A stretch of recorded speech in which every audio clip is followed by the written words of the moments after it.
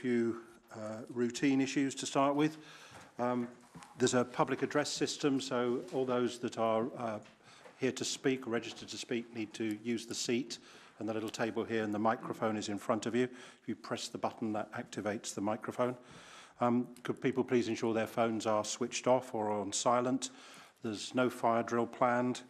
Uh, the proceedings this evening are filmed and will be available on the WBC website.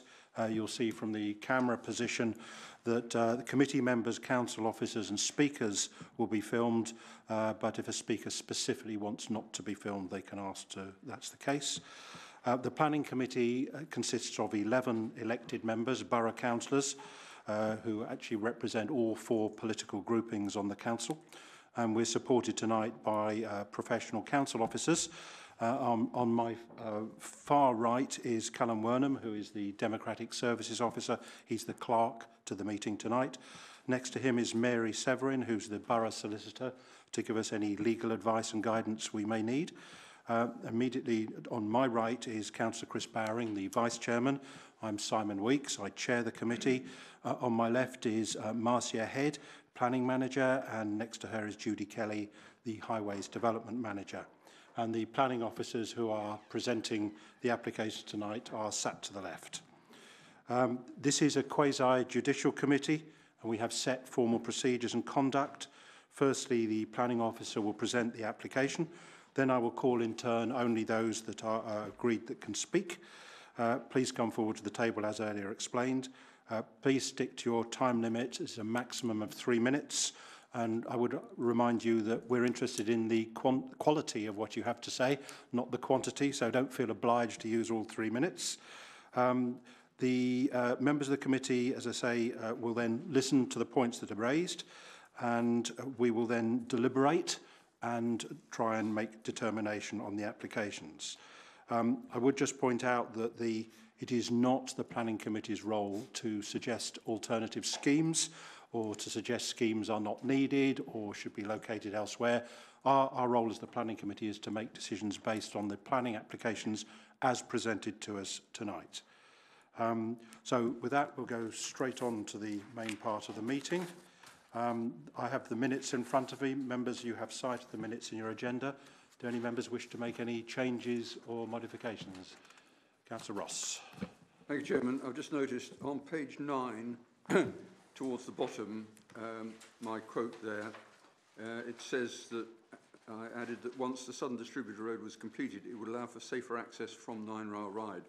Safer access than from Nine Mile Ride. It, just adding the word than would, would satisfy.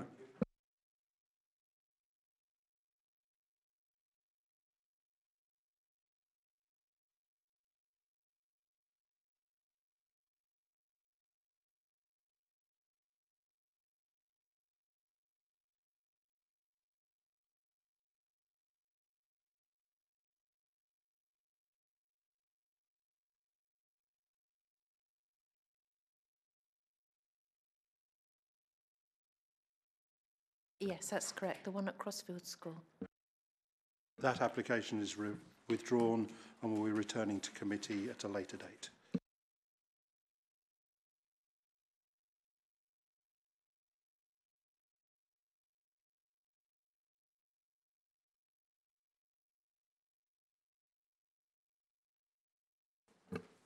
Thank you, Chair. The application number is 192420. This application is for the proposed change of use from warehouse to mixed use of warehouse, light industry, and offices, along with extension of first floor by increasing ridge height by 1.75 meters, as well as installation of two number of silos, new external doors, and solar panels. It is presented to the committee because it is a major development involving creation of more than 1,000 square meters of employment floor area. This is the site location plan. The site is located to the southern side of Molly Millers Lane within an existing industrial and commercial neighborhood. Residential properties on Finchampstead Road are located to the east. The applicant, that is Intersurgical, is one of the major establishments within the borough and owns three other properties in, on Molly Miller's Lane as identified on the map. These are the existing floor plans. The building currently operates as a double height warehouse with a small section facing Molly Miller's Lane has two floors of ancillary spaces. These are the existing elevations of the building. Now, these are the proposed elevations, and I present them to you before the plans because the elevations show the exact changes that they're proposing. The elevations show that the proposal would only result in an additional height of approximately 1.8 meters in the form of a double gable. These are the proposed ground floor plans, which will include a section of warehouse to the rear, B1C or light industry or manufacturing units in the middle, and offices in association with the business operations to the front. The roof extension is proposed to accommodate a new first floor or mezzanine floor. So this is the proposed first floor plan. The warehouse is at the rear, which would have double height. The middle section is manufacturing, and the front section would have offices as well as staff breakout areas. This photo shows the view of the building from Molly Miller's Lane. And this photo shows the eastern side of the building Residential properties on Finchampstead Road are sited to the right beyond the fences. As you can see, the shared boundary is sufficiently screened with existing vegetation.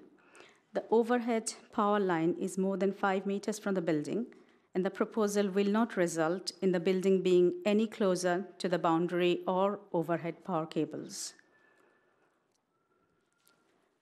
This is the proposed site plan showing parking provision Existing 72 spaces are proposed to be retained.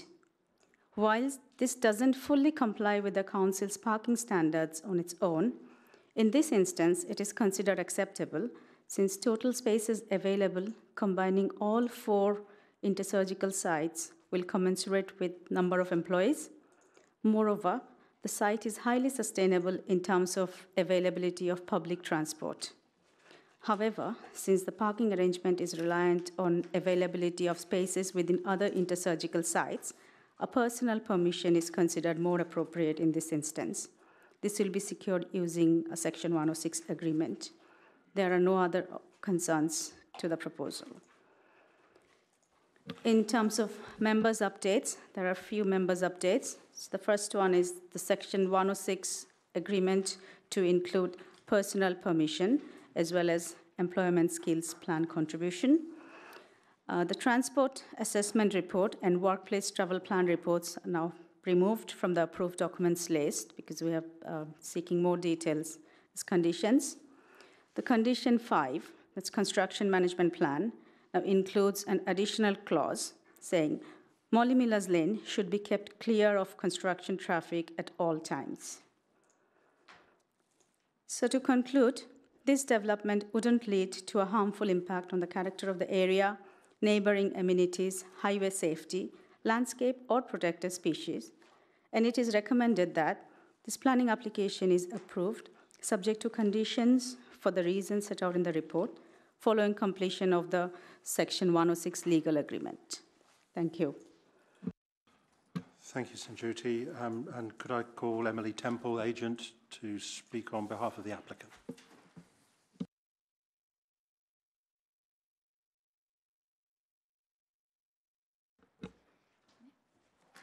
Thank you, Chairman, and good evening, councillors. I'm pleased this evening to support the application for the expansion of Intersurgical's business in Wokingham. As members may know, Intersurgical is the second largest employer in the town after only the council. The business has been located on the Molly Miller core employment area for over 20 years and it is world renowned for the manufacture of medical respiratory equipment that is used in private clinics and hospitals worldwide. The company do have premises in Lithuania but they are proud to have their company headquarters right here in Wokingham. With the NHS being the Intersurgical's largest client, the ability to manufacture and deliver medical equipment within the UK is of paramount importance, and the demand for such products is rapidly increasing, as the NHS is almost wholly reliant on Intersurgical's products, such as respiratory masks and associated tubing. By way of context, the company currently manufactures over 2 million adult masks per month and over 100,000 respiratory tubes per month. The expansion of the Wokingham facility is therefore a fundamental part of delivering the NHS's growing need. Intersurgical, as you've seen on the map of um, different uh, premises, they recently acquired a larger B8 storage building elsewhere on the industrial estate. And this smaller site and the close proximity of it to Crane House and Ready Power mean that it is well suited to the proposed change of use and extension to accommodate more manufacturing capacity. The number of premises that Intersurgical have across the estate means that parking can always be accommodated, all on applicant-owned land, even if not on this specific application site itself. It is relevant that most of the building will be occupied by machines rather than high numbers of extra staff, although some additional employment and apprenticeships will also result from the development. We've engaged with your officers through all of the recommended conditions and the legal agreement and can confirm our agreement to all of these requirements. So I hope uh, my comments are reassuring. We trust we've worked well with your officers to date through the application process and request that their positive recommendation is supported by the committee this evening. Thank you. Okay, thank you.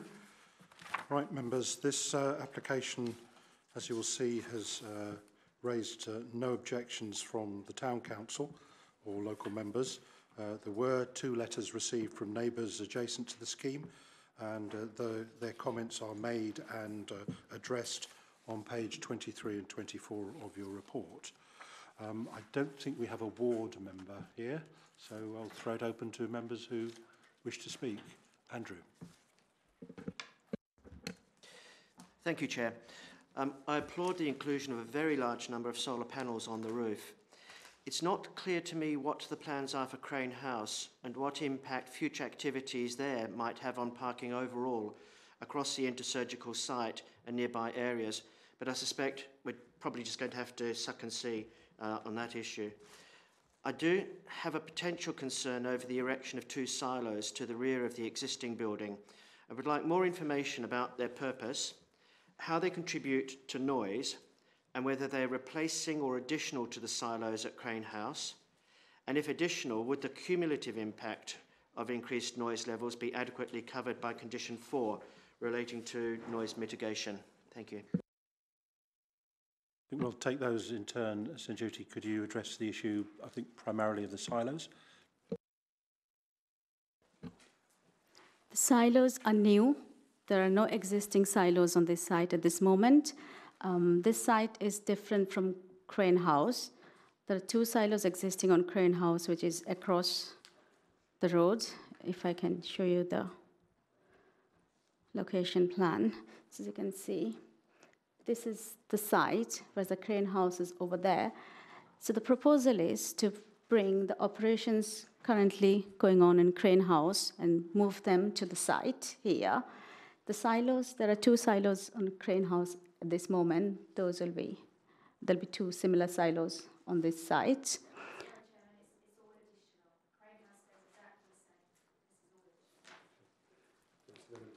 So, yes. And the noise report has been submitted for this particular proposal. It shows that the noise from the silos will be the expected noise to the nearest receptor, that is, these houses on Finchampstead Road, are 6 decibel more than what is expected, the permitted level. Um, however, it's stated that there could be um, noise mitigation measures which can reduce the level. So a condition is included as a pre-commencement condition to ensure that noise mitigation measures are in place prior to the develop, uh, commencement of the development. Does that answer your point?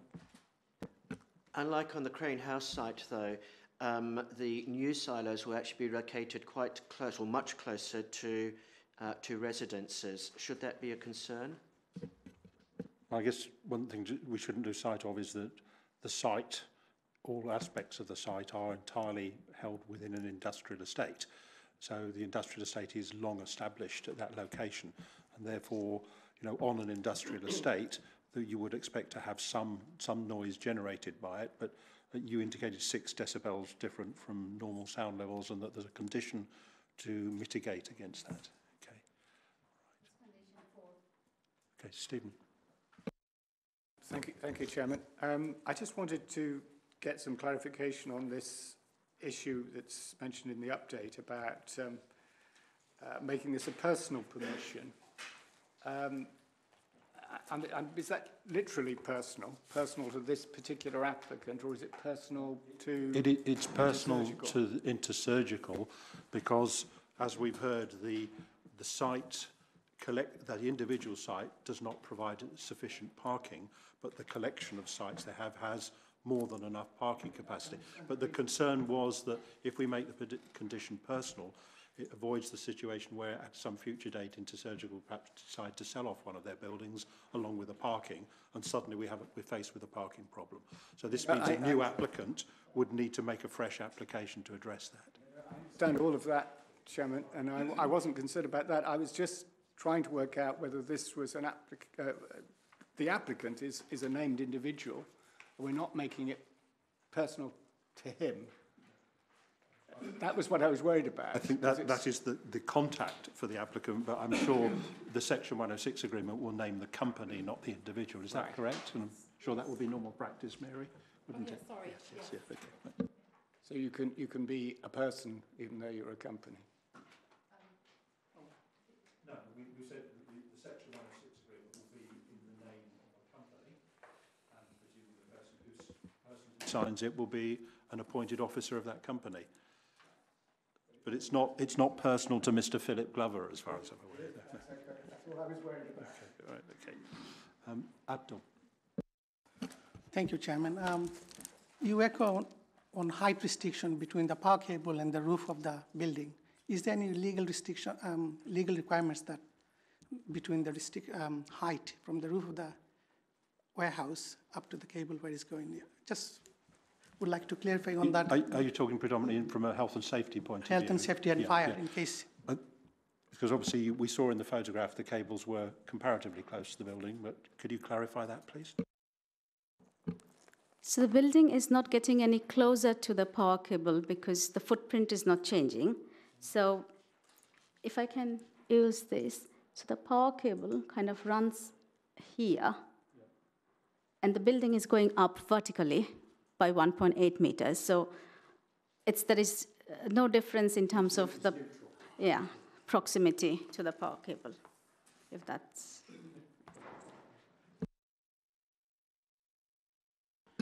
Thanks, Chair. Um, I've just got to say that, I mean, mo- most of this uh, application seems good, you know, local employer, um, increase in floor space, increase in employment. Um, it's a slightly taller building, but it's not massively, I mean, there's no overlooking or anything like that. Um, and, and it's really taller just to the ridge heights, which are, you know, they're gabled, so most of it isn't even that height. Um, but I do worry about the noise. Um, uh, the condition is, is about mitigation. What happens if they build this and there is no mitigation that can be uh, done to, to make this uh, come down below that level? I think it, was, it has to be five. Is it five dB below the, the normal level?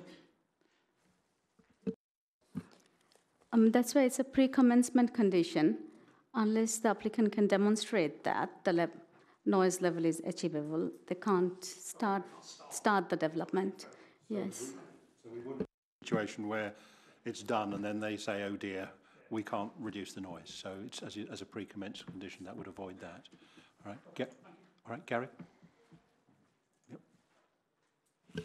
Yeah, picking up on that particular point, um, is the condition for, with respect to noise mitigation for construction, or is condition four to deal with, for example, when the building is up and running in the future, uh, and delivery hours, delivery times, etc. In other words, can they deliver, uh, make deliveries late at night, which can cause lots of noise and therefore um, be a nuisance? So I was just saying, does, does condition four cover that element of it? Um, the other thing I found odd was um, it, it makes a reference to, on page 14, readily available public transport, and I would like someone to expand on what readily available public transport is on Molly Miller's Lane. Um, and the other comment I would make is that it may, uh, there is a condition about keeping construction traffic of Molly Miller's Lane, and I don't see any point of that because I don't think you can keep vehicles off highways when they're legally entitled to be on them. And I've lived in Arborfield Garrison, and I've seen this on for years where we've tried to have conditions and we can't. So I think having that condition there is actually, I think, is a waste of time. Okay. Uh, and the other, the other final point is car parking. Um, there's, there's various references to numbers, etc., etc. And I, I would like in all, all future plans, including this one, to show some indication what facilities there is for precise numbers of electric charging and disabled car parking, because it tends to disagree with that. And the other thing is the removal of the travel plan, I think is wrong. I mean, historically, what we have done with travel plans is we've allowed the um, chairman to approve a travel plan, and I think removing the travel plan as a condition, I think is wrong. I think the travel plan should have made in there, and it be approved by you as chairman. Okay. Otherwise, I'm perfectly happy with the planning Okay, I, application. well, I'll, I'll let answer most of that, but just in terms of the issue about Molly Millers Lane, I think the wording, when I actually looked at it in the members' update, when I got to the meeting, I thought that it was perhaps not very well worded because clearly construction traffic will have to use Molly Millers Lane and the way it's worded suggests it can't. So I would suggest that it should be, the wording should be modified to say that should be kept clear of uh, parked loading or unloading construction traffic. Uh, in other words, we don't want vehicles parked there loading and unloading, then get onto the site to do it. But clearly, vehicles will have to use Molly Millers Lane to access the site. So I think that hopefully addresses your point. So if we could make that minor modification. So, Sanjuti, could you try and answer the other three points, please? Thank you. So as I understand, the first question was regarding the noise and the noise, um, the noise mitigation. So the noise um, we are expecting is from the silos primarily, which is when the building is under operation. So the noise report suggests that when the silos are on operation, the noise level created by that will be six decibel more than what's permitted. Because of that, we need a noise mitigation uh, plan. So that's been conditioned as a pre-commencement condition so that we have a mitigation plan and uh, which has been checked by the council officers and we are happy with that and only then the development can commence. That's the first question. Now for transport on Molly Miller's Lane, it's within walking distance of the railway station. The application site is less than a mile from Wokingham train station and there is a bus stop within 40 meters of the application site.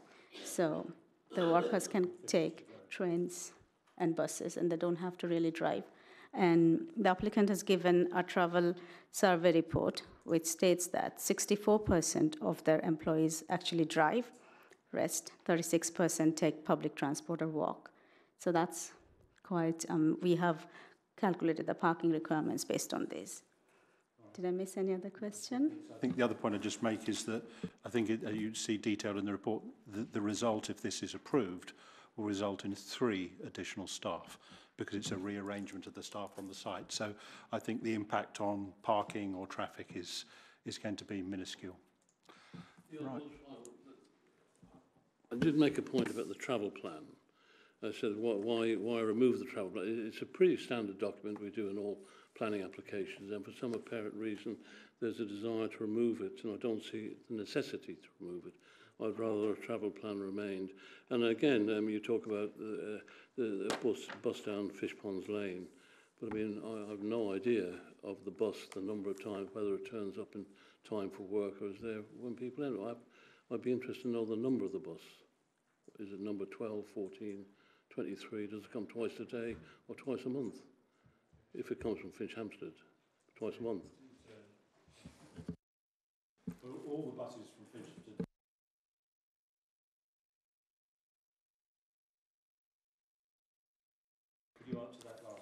Yes, the travel plan is not removed from the condition.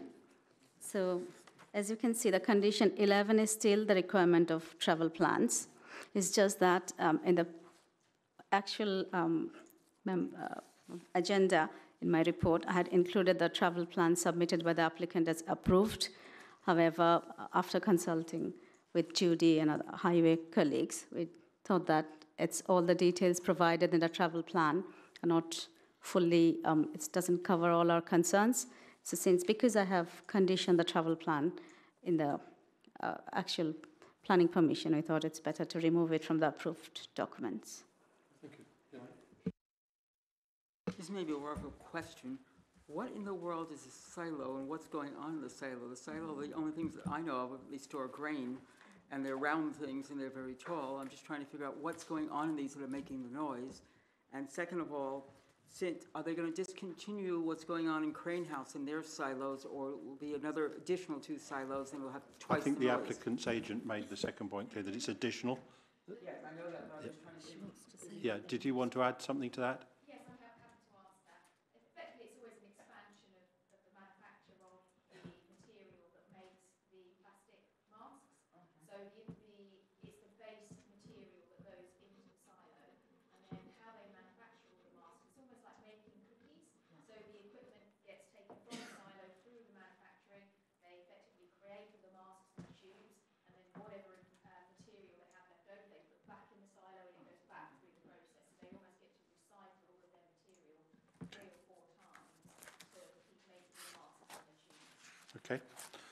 right. In that case, I think with no one else indicating to speak, we'll move to uh, the recommendation.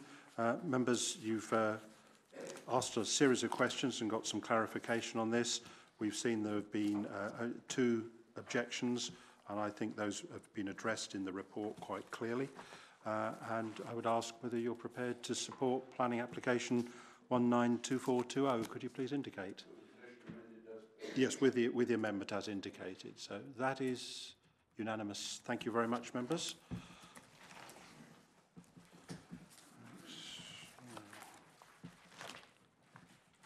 Oh, next application is Headley Road East. And Graham, I think you're doing this one.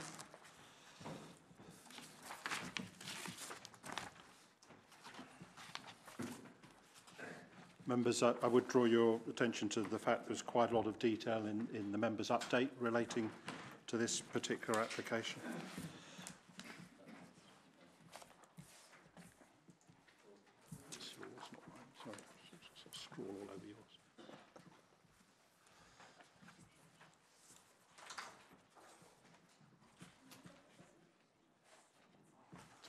Bear with us a moment, please.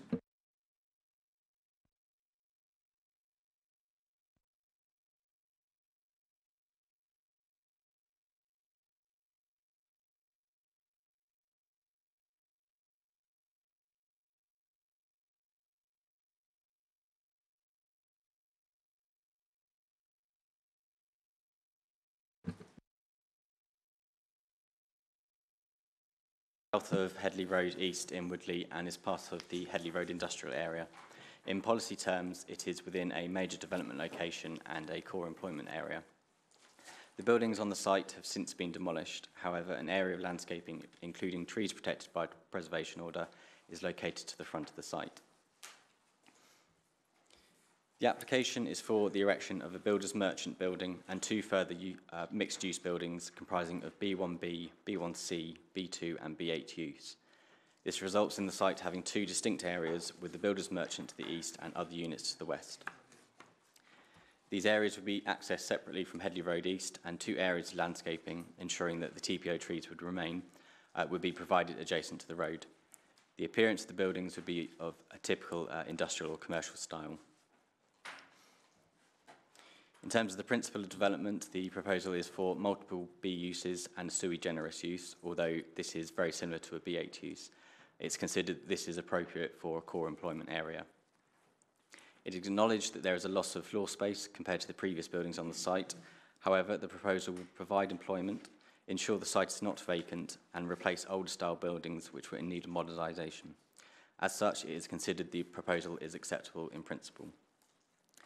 With regard to character, the proposal would be appropriate in the surrounding context being of an industrial use and appearance.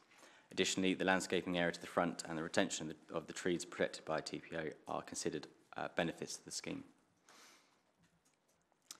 The access to the site, uh, uh, the accesses to the site are considered appropriate and the traffic impact is also considered acceptable following assessment of TRICS data. In terms of parking, the provision of 21 spaces for the Builders Merchant Building is appropriate and relevant to similar sized examples. In relation to the other units, further information is set out in the members' update. As can be seen, Highways have now raised an objection to this aspect of the scheme and consider additional parking should be provided. It is the view of planning officers, however, that the parking provision is acceptable, particularly as the buildings are for B1B and B1C, not B1A use. Furthermore, taking the Highways objection into account, it is considered the benefits of the scheme outweigh this. In terms of other issues, the site is not located adjacent to residential properties and therefore no harmful impact would occur. Satisfactory information has been submitted with regard to flooding and drainage, and in particular, the EA have recommended a condition regarding unknown contamination. Furthermore, subject to conditions, no objection is raised with regard to tree and landscape, environmental health, ecology, and sustainable design impacts. A contribution to an employment skills plan will be provided through a legal agreement. In the members' update are alterations to conditions, uh, including some additional ones, and uh, clarification on the parking provision as stated. As such, the recommendation is that the committee authorise the grant of planning permission subject to the completion of a legal agreement and the conditions set out in the officer report and members' update. Okay, thank you, Graham. Um, again, members, I will draw your attention to the uh, that there are no objections from the uh, town council or from local members or from any neighbours. Uh, I suspect there aren't many neighbours in that immediate area anyway. Um, and that this application is, is simply here by virtue of its scale and size. Um, Carl, I'll come to you first. I think, uh, sorry, speaker, sorry, apologies, jumping ahead. Um, uh, Laura Wilkinson, agent. I'm so sorry to have nearly missed you out there. Thank you. Good evening, and thank you for giving me the opportunity to address you regarding these proposals. Your officers have prepared a very comprehensive report which sets out all the pertinent issues associated with these proposals. I therefore only have a few comments to make. The previous existing employment buildings had reached the end of their life and were not suited to modern employment requirements. The proposed development will provide new employment buildings and opportunities on a designated core employment area. The design and scale of the proposed buildings would be similar to the surrounding uses and therefore compatible with the character of the area. The proposed development provides suitable access, parking and servicing arrangements. With regard to the parking associated with the five industrial units, 53 parking spaces would be provided. These buildings will be used as either B1C, B2 or B8. They will not be B1 offices, which have a much higher employment numbers per square metre. Any B1A office element will be ancillary to the main B uses on the site, and it has been clearly demonstrated as part of the submission that 53 parking spaces would indeed be sufficient. There are no objections to the proposal from the Environmental Health Officer in respect of noise or other disturbances. There are no objections from the Council's Tree and Landscape Officer with regards to the impact on the trees covered by the Tree Preservation Order. The trees to the front of the site be retained and protected during construction. There would also be some additional planting introduced to the site as indicated on the submitted landscape strategy. This will be in the form of a double row mixed native hedge along the fence line of the builder's merchant. The applicants have also agreed to the Section 106 financial contribution to cover the employment skills plan. Discussions regarding Section 106 are already underway and it is considered that the agreement can be concluded quickly. Finally, as the Chairman has already mentioned, there are no objections from the Town Council and no letters of objection have been received from local residents. Therefore, in view of the above, I would respectfully request that you endorse your recommendation and grant planning permission. Thank you. Okay, thank you very much. And uh, you were the only speaker, so I now come to you, Carl, as ward member. Thank you. um, this, this is uh, a loss of Class B4 space, uh, which is a problem. But it is an employment use in a, an established employment area, and that was definitely one of the worries I was hearing from not local residents, because there aren't that many right next to it, but um, people worried that, uh, that this was going to become another bit of housing in an industrial area, which has happened to the south of this. Um, the bakery that used to be there was turned into housing. Um, and I, I think one objector to a previous application on this site referred to it as a progressive nibbling away of the designated employment area. So the fact that this is actually going to be an employment site is, is a good thing. I think that's welcome. Um, the other issue on the kind of local grapevine was the trees. Um, I think uh, I did get uh, asked to look into this, and I, when they started to, to look like they were demolishing the site, when they started putting the boards up. And uh, I spoke to planning, and, and very quickly uh, the guys were out there to check it. Um, and I think they had protected the TPO trees, but there was a bit of worry that they just were going to go ahead and, and saw them all down in one go. You know, that, that would have been a problem. So I don't think they were going to do that. But the planning guys went out and just made sure, reminded them, and, they, and, and that never happened. So that, that's good. That's that they're retained. Um, uh, a couple of questions. Originally, they put out an application for prior notification in to demolish the buildings. Uh, in October 2018, that was refused. Um, I think that was refused because of the trees that they hadn't carried out. Uh, and I just wondered, I, I don't think they needed permission to demolish. Uh, So I just, I, I'd like to know how that happened, really. Um, I mean, this is retrospective permission for demolishing it, so they're asking now, obviously. But I'd just be interested to know how that, that works. Um, uh, not that I have massive objections to that, uh, although I have a small one, which I'll come to later. Um, and the other question is, um, on page 59, paragraph 34, uh, it, it's talking about the CIL liability, saying it applies to residential and retail uses, uh, but for sui generis and B uses, it's not C, it's liable. So I, I re realise that the builder's merchant is sui generis, but how is that not a retail? uh, builder's merchant does appear to be retail. Uh, obviously, there's a reason why it, it isn't retail, and, and I'd just like that explained, really. Thanks. We'll get an explanation of that.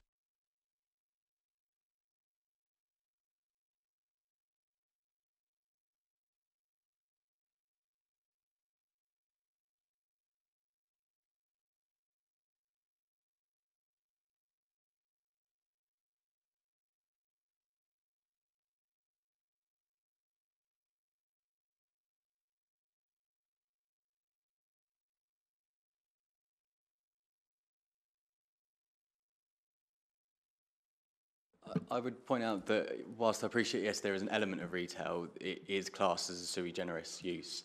So, and that in planning terms, so it isn't an A1, A2, etc. So it, it doesn't fall under that class uh, in terms of CIL. I appreciate there is that element, but it is not enough to call it a, an actual A use. So it just doesn't apply. It's to do with the, the proportion of the use, really, is it? Yes, that's correct. Okay. Are you satisfied with that, Carl? You can, I mean, because it's a builder's merchant and most of it will be storage, effectively like a warehouse, I suppose. It, it won't actually be, although there is a retail element, it's not a massive one. Uh, okay, yeah, I understand that. I have got another point to make, uh, you know, I'm broadly in, but I'll, I'll come, I'll let other people speak. Okay, let's go for it now. Uh, it's about the Hawkhurst House, really, which was the old building which was demolished. Um, uh, and I consider myself uh, guilty of this as well, but I think as a planning authority we're guilty of this, that this was a building, it wasn't listed, and not likely to be listed either, but um, it, does have some history, and I think it would have had some uh, parts of it which would have either been worth documenting or certainly saving uh, in terms of, there was a very fine stone doorway, uh, which would have uh, been, been good to save in some way, or if it was possible. Um, and it, it just, I just wanted to make the comment that I felt that, you know, knocking that down without it kind of being checked over was a, was a bit of a problem, really. I don't think anything, they've done anything wrong. It wasn't illegal to do that, I don't think. But um, I, just, I just think that's a shame. And I just wanted to get that on record, really. Um, because it's one of the few buildings left, or was one of the few buildings left in Woodley, which, which had a bit of history to it. Um, and its history was, you know, to do with the flying school, um, it, and later the flying training uh, uh, squadron there. Um, and also it was later used as a main office for uh, the furniture company that built up there. So, so it's, there's a lot of history there, and uh, it would have been nice to have it at least documented. Um, so it's a shame, but it's already gone. So, uh, you know, I, I don't think I can protest too much about that anymore. Thanks.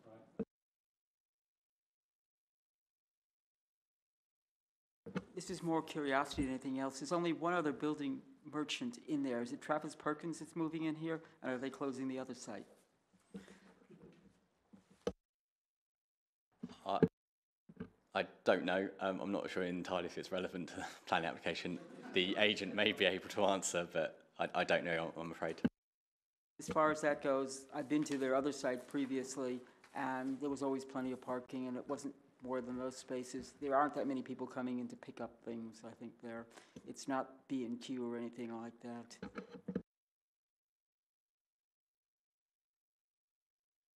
Thank you. Um, fairly simple question first, then my main question. Uh, what's in Unit 6 as opposed to all the other units? Is it um, a different sort of uh, customer will be in there, different storage or what? So that's the builder's merchant building. In 6? In six, and then units one to five are the mixed B uses. Okay, so if you have big lorries arriving, are they likely to be in both sites or just the one, do you think? Large lorries? I, don't know if it's significantly large lorries, but ultimately the access has been assessed and considered appropriate it's for. 15 metres here, type. isn't it? It's normally 10 metres for an entrance, it's 15. So I'm assuming they're expecting some lorries and things to go through, if building materials. The, the reason for asking the question is that there's the two halves to the site. The one on the right side, by Unit 6, has a, a one-way system. You go in and go around a big roundabout to come out, that's easy, which means that you go in forwards and you come out forwards. If there's large vehicles on the other half, on the left-hand side, um, if they are large, I'm not quite sure how they would be able to turn around and get out in a forward direction from that gate because there doesn't seem to be a turnaround point unless the road is very wide or there's turning points. So any idea how how they're supposed to turn around and get out or is that not relevant to that half? Yeah, it's a highways question, I realise, but Just having a look at the um, swept path plan. Um, We'd like them to be able to go in and come out in a forward direction, basically. Yeah, absolutely. How you do that on the left-hand side. um, so I'll have have to a say, little look what, at the what, plan what, and come what, back to what you. Judy will just look at that, but I would say that, as, you know, as a as an industrial site, you, you would you would expect that the the road network there is designed to accommodate much larger vehicles and with appropriate provision. But we'll um, um, Judy will just have a look at that, and we'll we'll come back to that point in a moment. Which We'll- the third bit of the question is how wide is that road in that case? Right, okay. Well, we'll get, back- get the answer to that. Um, uh, next, I've got uh, Angus. Thank you, Chairman. Mine's linked to that in a way.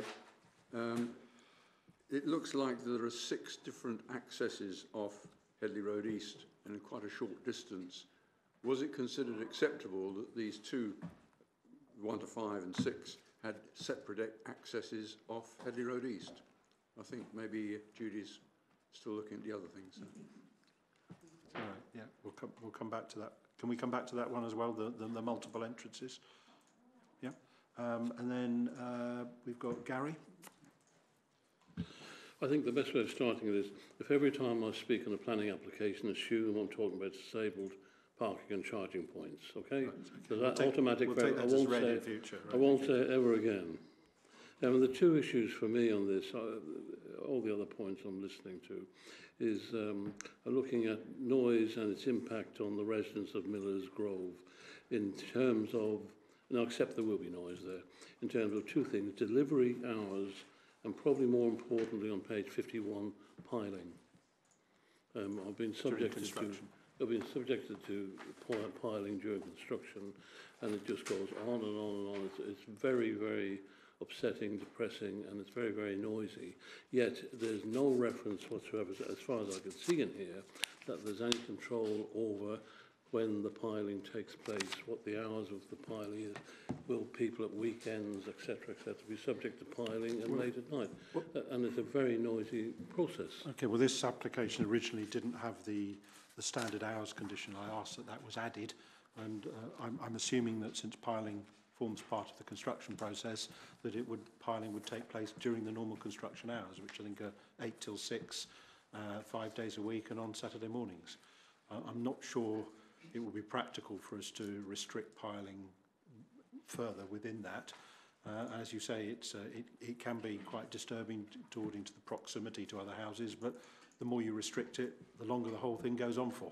So it's a question of whether you have a, a few days of noise or a few weeks of noise. Uh, so I would think that I think the piling will be covered. Graham, would you confirm piling will be covered in the the, the, timing of piling will be covered by the normal uh, construction hours restriction that we- that we are attaching to this? Yes, it would, and there's also a construction management plan condition, uh, construction method statement condition, which would look into that as well.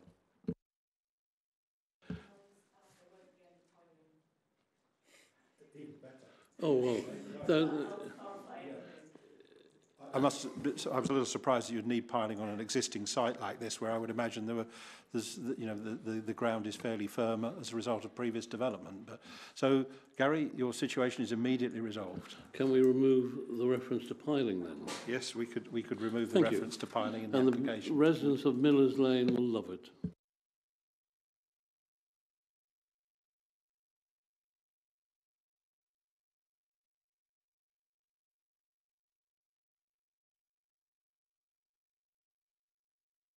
Uh, so I can't actually find any swept path plans for units one to five. Um, I mean, there is a wide area between parking bays that a large vehicle or a delivery vehicle could conceivably turn in, but um, unfortunately I can't seem to, it hasn't been submitted. Parking places, and the road is only a standard width. Yeah. Rather long lorry with bricks or two roofing tiles, it's going to find it a bit tricky doing three-point turns to get out. Well, I think that the delivery arrangements for the um, the builder's merchant have that one-way system, as you say, and that's fine. But in terms, that's right on the right-hand side, unit six. But for units one to five, we've n- there's not been an exercise undertaken in terms of tracking a large vehicle.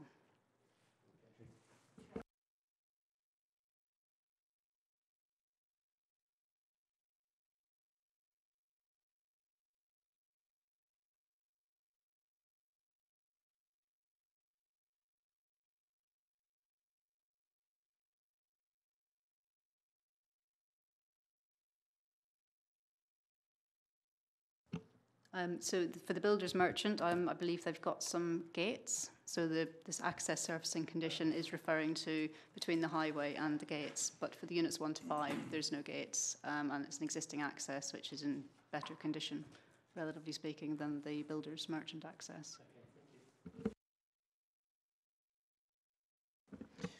Thank you, Chair. Um, the reason for refusal of an application for part of this site in October 2018 related to impact on protected trees.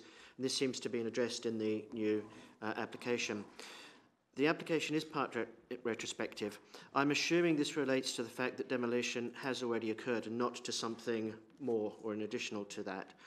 Um, I agree with the Chair's recommendation for an informative reminding all applicants um, of the importance of not relying on uh, retrospective applications. I note that um, it would bring employment back to a currently unused site within a core employment area, and I think that's really important.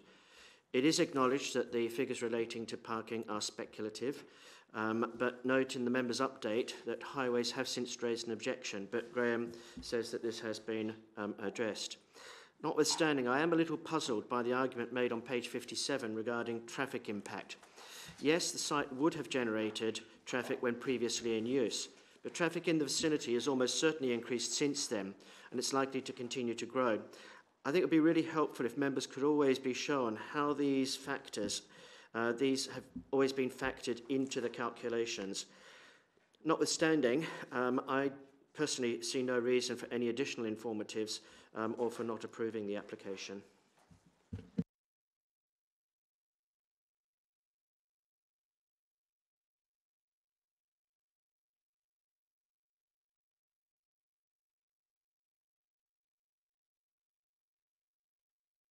Um, so, members, we have the application in front of you. You'll see in the members' update that there's uh, uh, additional information um, on parking provision and amendments to the report.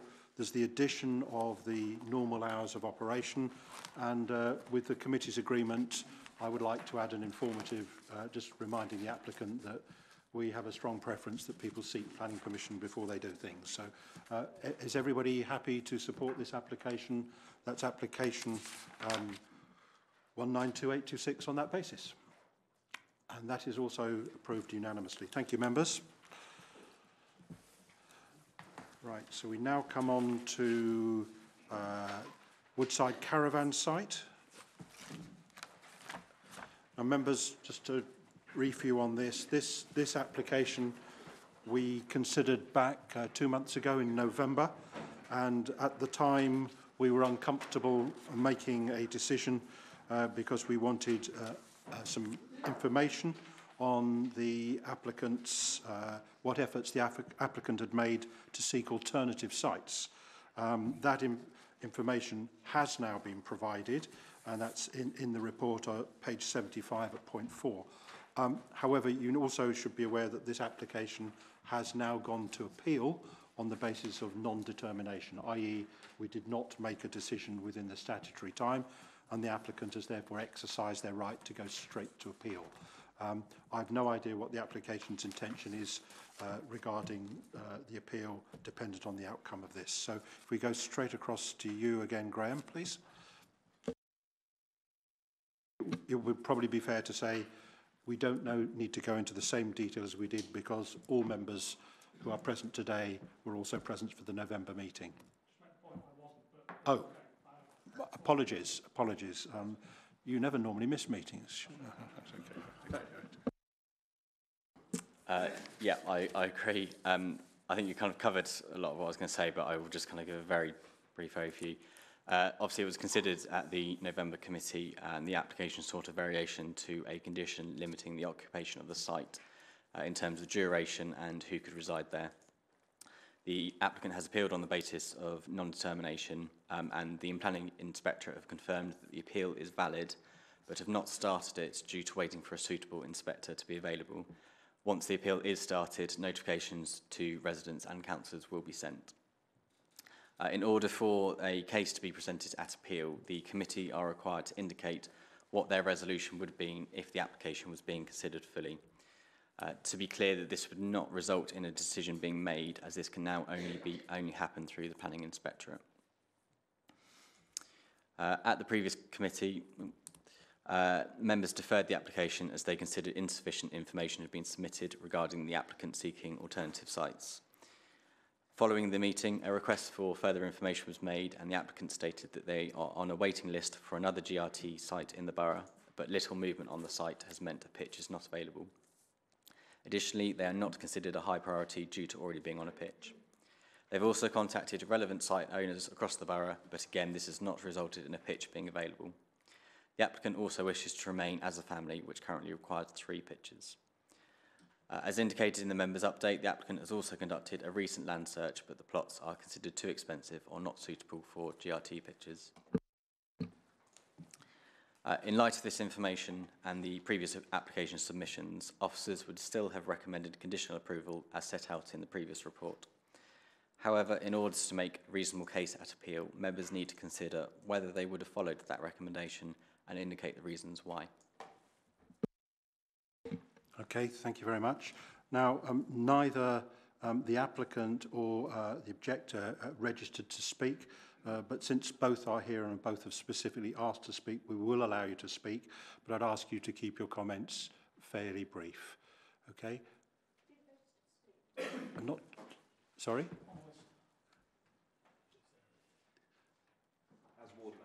Yes, as ward member, sorry, yes, you're as ward member, you, so you're the last speaker. So no, no, sorry, I was talking, I said the applicant and the objectors. I didn't refer to ward members. So, so firstly, could I ask uh, Philip Bain uh, to come and speak?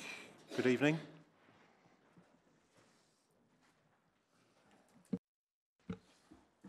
Good evening, and uh, thank you for letting me talk to tonight. As residents of Blagrove Lane, we have always had one real argument against the approval of this site, and it's the location of it.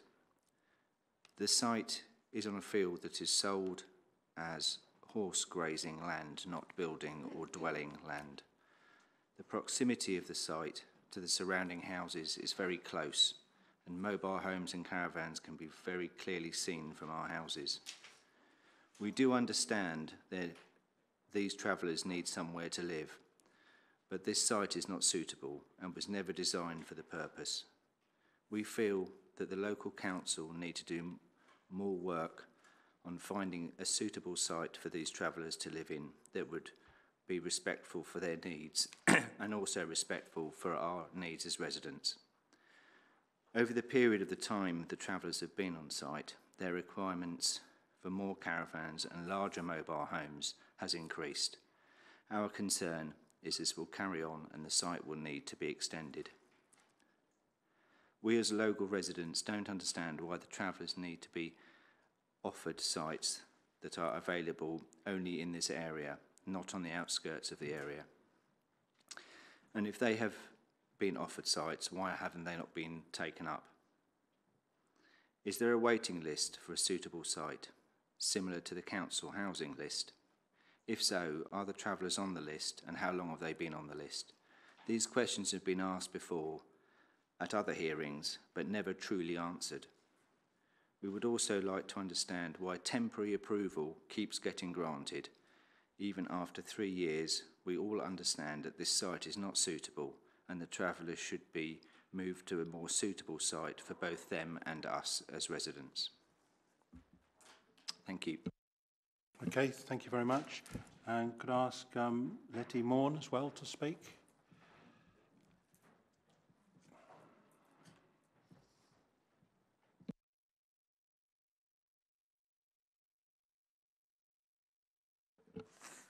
Um, back here again. Um, just want to say basically that obviously this is our own. It's not just a piece of grazing land now. It's become our family home. We have three families that live there. Obviously, as you can see, our family is growing.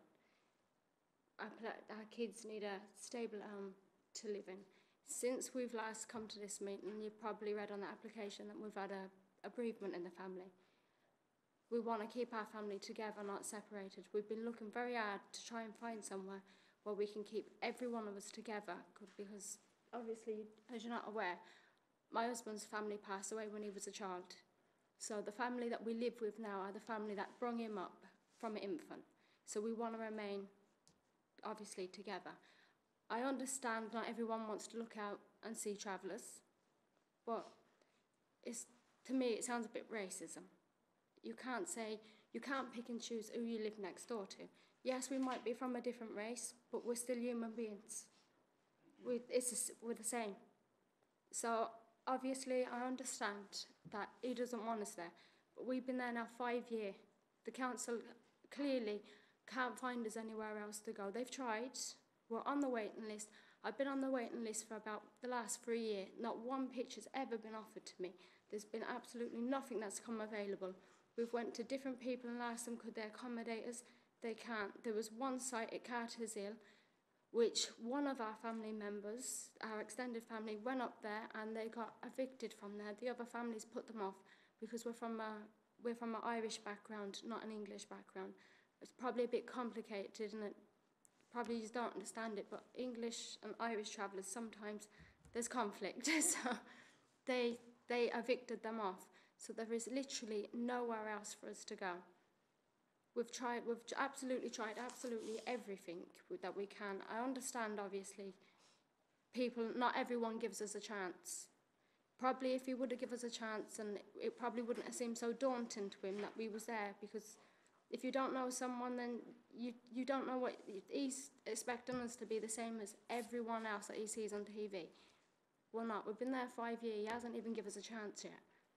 We're normal people. All we want is our home for our kids. It's not just a piece of grazing land now. And as they say about the wildlife and that we're affecting things, the wildlife are clearly they're still there because our laurel, our, the deers are just completely devouring it. They're eating it. So clearly we're not having an impact on any of the wildlife. As in the last meeting, it was raised about environmental health, police activity, all this stuff. I've addressed, we've addressed all that. I've had to get reports from environmental health to proven that all them allegations was lies from the RSPCA. I've got reports that I'm, I'm not known to the RSPCA and never have been to prove that that is a lie because we want to be judged by who we are, not from what people paint us as. Thank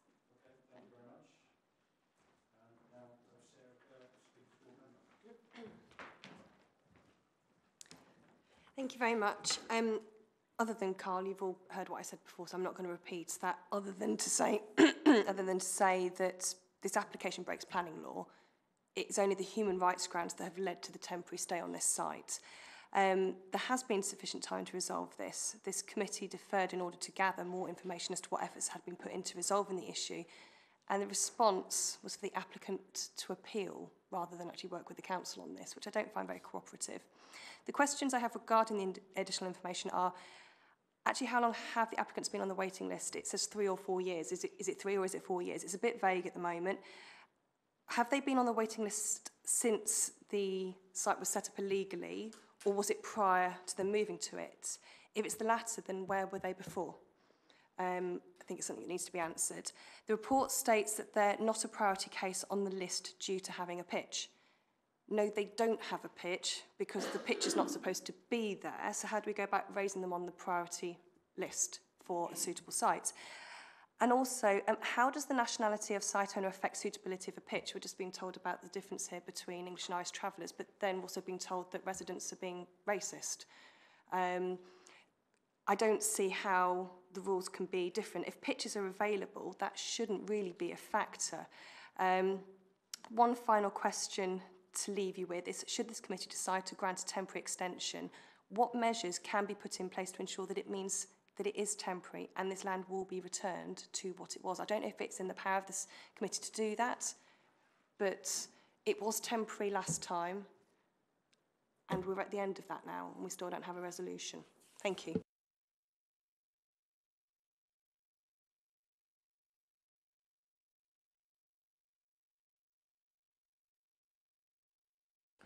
Thanks very much, uh, Chairman. Um, I, I agree with Sarah that it is unfortunate that the applicant's agent has apparently encouraged them to go to appeal rather than wait for the determination of the application at this meeting. Um, we only uh, actually deferred the application for, for one very specific reason, to get further information. Um, and the applicant has provided us with some information, uh, which is helpful. I think if, if I read the resolution correctly um, from the last meeting, we were also hoping that the council itself would give us some information about um, current availability of sites across the borough, and I'm, I'm not sure we've actually got that. But uh, I think what makes all of us feel uncomfortable is precisely the point that Sarah was making at the end of her um, presentation, which is that we're faced with seemingly the the potential for repeated temporary applications with no resolution of this and no strong incentive really for um, the applicants to resolve it if there can be successive temporary permissions. I don't think there's anything, unfortunately, however, we can do about that. I, I fear that's how it is. Um, we, we only deferred this application for one reason, that's at least partially been um, uh, addressed. So I, I really now think we, we almost certainly have to um, we have to pass a resolution saying that we would, had we the opportunity to resolve, uh, uh, to determine this issue, would have, would have granted a further temporary permission.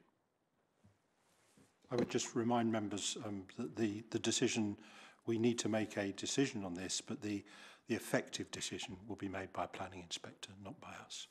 Gary. I I, did say on page 93 that um, uh, I suggested the application be approved for a two-year time period, which will be subject to a legal agreement and an additional condition regarding screening of the site and gate light pollution um, uh, be considered. I don't know what the current situation is with respect to the local plan and GRT provision stroke vacancies, whether within our structure we have any. Um, we're going through a local plan process, which actually, I think on the 15th, um, will go out to consultation on the new local plan. And that part of that will be looking at the provision of uh, GRT and um, Gypsy, uh, it's not Gypsy, uh, GRT and um, fairground uh, traveller provision. Um, but that's, that doesn't solve the problem uh, that's, yeah, that's confronting us now. It won't happen for some time. I, I, I, can't, I can't see much benefit in uh, uh, going for temporary extensions. I, and I do, I mean, I, coming from across the water, I recognise the difference in English and Irish travellers and the issues around them. And it's not, as Sarah would imagine, quite simply plonk them all in the same place and it's all hunky-dory because it's nothing of the sort. It's actually quite different.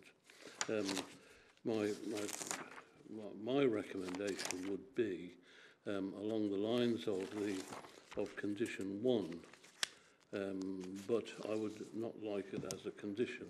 I would like it as a legal agreement that we grant a permanent permission. I need to remind you, we're not making that type of decision today. We're simply saying what we would have decided. rephrase so, so, that. so we I'll- can't start applying conditions No, to no, it. I- I'll rephrase that. If, and this is the question I was asked, if I was asked what approach would I take as a member of this planning committee, then that approach would be to, through a legal agreement, approve planning permission um, for permanent occupation of the site, subject to conditions to which um, one of the uh, which the legal agreement would state for the occupation of these specific people only, uh, persons only, and should they uh, wish to change those conditions or leave the site, well then it would revert to countryside. That's what I would do if I was in a position to do it. I think you'll agree, Gary, what you've just described is a, is a hypothetical situation. Yeah, yeah, okay. All right, um, Andrew? Thank you, Chair. We've been reminded a number of times tonight that the reason why a decision was deferred was to enable members to be provided with very specific information relating to alternative sites as outlined on pages 93 and 94. Uh, the, some additional information, additional information has been provided by the applicant since the 13th of November uh, meeting, and it's included under point four on page 75. But I do find the additional information that the applicant provided to be quite, uh, quite limited. Likewise, uh, the members' update um, also explains reasons why it's not been possible for the borough to find a suitable site. But I do agree with Councillor Kerr, the ward member, that it would be much better if much more information um, uh, on this matter um, uh, uh, uh, could be provided. For well-rehearsed reasons, this is not a suitable caravan site. Notwithstanding, I note that the reasons for the planning inspector granting two-year permission continue to apply. Indeed, the heavily weighted welfare of children living on site is probably even more important now because of the additional children uh, living on site. In the apparent absence of an alternative site being immediately available, I do not believe that uh, we uh, can refuse the application. And uh, for that reason, uh, for these reasons, you know, I would, um, I would support a further two-year uh, permission. Okay, thank you. Uh, Chris, I'll call you next. I, th I think we uh, ought to follow the logic of the last meeting, um, at which we decided we wanted more information. So I think the quality of the information, as several members have already said, is important. Could I ask, um, could I ask Graham what his assessment of the uh, members' update um, reference to nine potential plots? Is that, is that corro corroborated by officers? Uh, we received it uh, beginning of this week, so we've not had a chance to properly assimilate it. Um, th there is an element that it's plots of land that have been looked at, uh, which essentially don't have the benefit of planning permission for a GRT site. Um, at the same time, the applicant has looked at what possible land, what possible alternative sites are available. So I, I think I possibly echo members in saying that yes, it is limited, but it is some information nonetheless. Okay, so in that case, I think if, if the information we requested is satisfactory, then necessarily we must approve it, because otherwise we would have refused it without the information. so I, I agree with the other members. I think we must approve and um, give a two-year temporary extension. Carl? Thank you. Um, as I wasn't here last time, this might have been a question that was answered at the time. Um, uh, this app, it, it does mention it in the original uh, report here, but it doesn't make it clear. Was the original application here for a permanent position, uh, permanent permission, with no conditions uh, to restrict who may live on the site? Uh, and then there's, there's some comment about, but it would be acceptable if another temporary permission happened. But is this application for a permanent permission? My understanding is that this application is strictly for a two-year extension. The applicant made it very clear when they previously spoke or that they would prefer it to be permanent, but the application is for a two-year extension. Okay, that, that explains why it's kind of both are mentioned. I just wanted to clear that because obviously that's quite important. Um,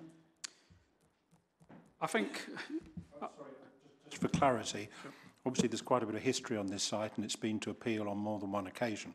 Um, the, the, the original application, obviously the intention was for it to be permanent and inspectors have subsequently said, no, not permanent, but because of the applicant's circumstances, we'll, we'll give a limited, limited uh, uh, permission. I, have a lot of sympathy with the idea that, you know, um, it, it's a temporary thing that rolls on and becomes permanent effectively, um, uh, which is, you know, a problem. Um, my impression from what's in the report, and I, I take the point that, you know, it hasn't been checked properly yet um, because of the time. Uh, and of course, the fact that we have to make a decision now because it's gone to appeal means that we haven't got the time to maybe defer this again and talk about it. Um, so, uh, and find out what that what actually happened. But the, the impression I get is that not a lot was done um, to provide that uh, that evidence, really. Um, but also, it does appear that you know there aren't that many options either, um, despite us having uh, enough pitches available um, as far as what we're supposed to have available. Um, and in the end, it comes down to you know the human rights thing about you know if we don't grant them permission, they lose their home, and that also then becomes our responsibility because then we've got to sort them out. Um, so that creates even bigger problems. Um, and I think that even the human rights thing um, was talking about a, a previous case, which was uh, the Supreme Court referring to UN uh, conventions. So this isn't even a kind of European Court of Human Rights issue. It's, it's much further than that, according to what the report says. So we're in, we're in a position which we can't do anything but say yes to a temporary permission, I think. Um, one thing I, I see throughout the, the report, the previous report, that it seems there's various complaints about statutory nuisances on the site. Those aren't obviously planning issues, but it's clear that the local neighbours are complaining about a lot of things, and are they happening? You know, I think we need to make sure that you know those things are looked into properly, and that's you know partly the, the council's job, obviously. Um, but in terms of decision, I don't think we can do anything else but but um, agree to another temporary two years. I hear all the members first. Um, Rochelle, next. Having been on the committee for a few years, I believe it happened, this thing came at least two years ago to us before. And are, the question is, are there suitable sites that would meet all of the conditions that they need, including the fact that they're not with uh, necessarily a different group of GRT people who would be, would be a problem? You wouldn't want to put two Northern Irish people right next to each other in, in, a, in flats. Uh, if one was Catholic and one was Protestant, it could be a problem. So I'm not quite sure that this is that different. But the, my question is, are there sites that they can go to uh, with spaces for all three families and uh, that are suitable for, including the fact that they have to be next to, not next to certain other GRT people? No, there's no council pitches available and there's no privately owned pitches available. Nor, nor do we have sites that have got planning permission to be operated and they haven't implemented it. So there's, there is nothing currently on the horizon. Okay, therefore, the welfare of the children do take precedence and we really have to approve the two-year extension at this point because there is no place for them to go. We can't make them homeless and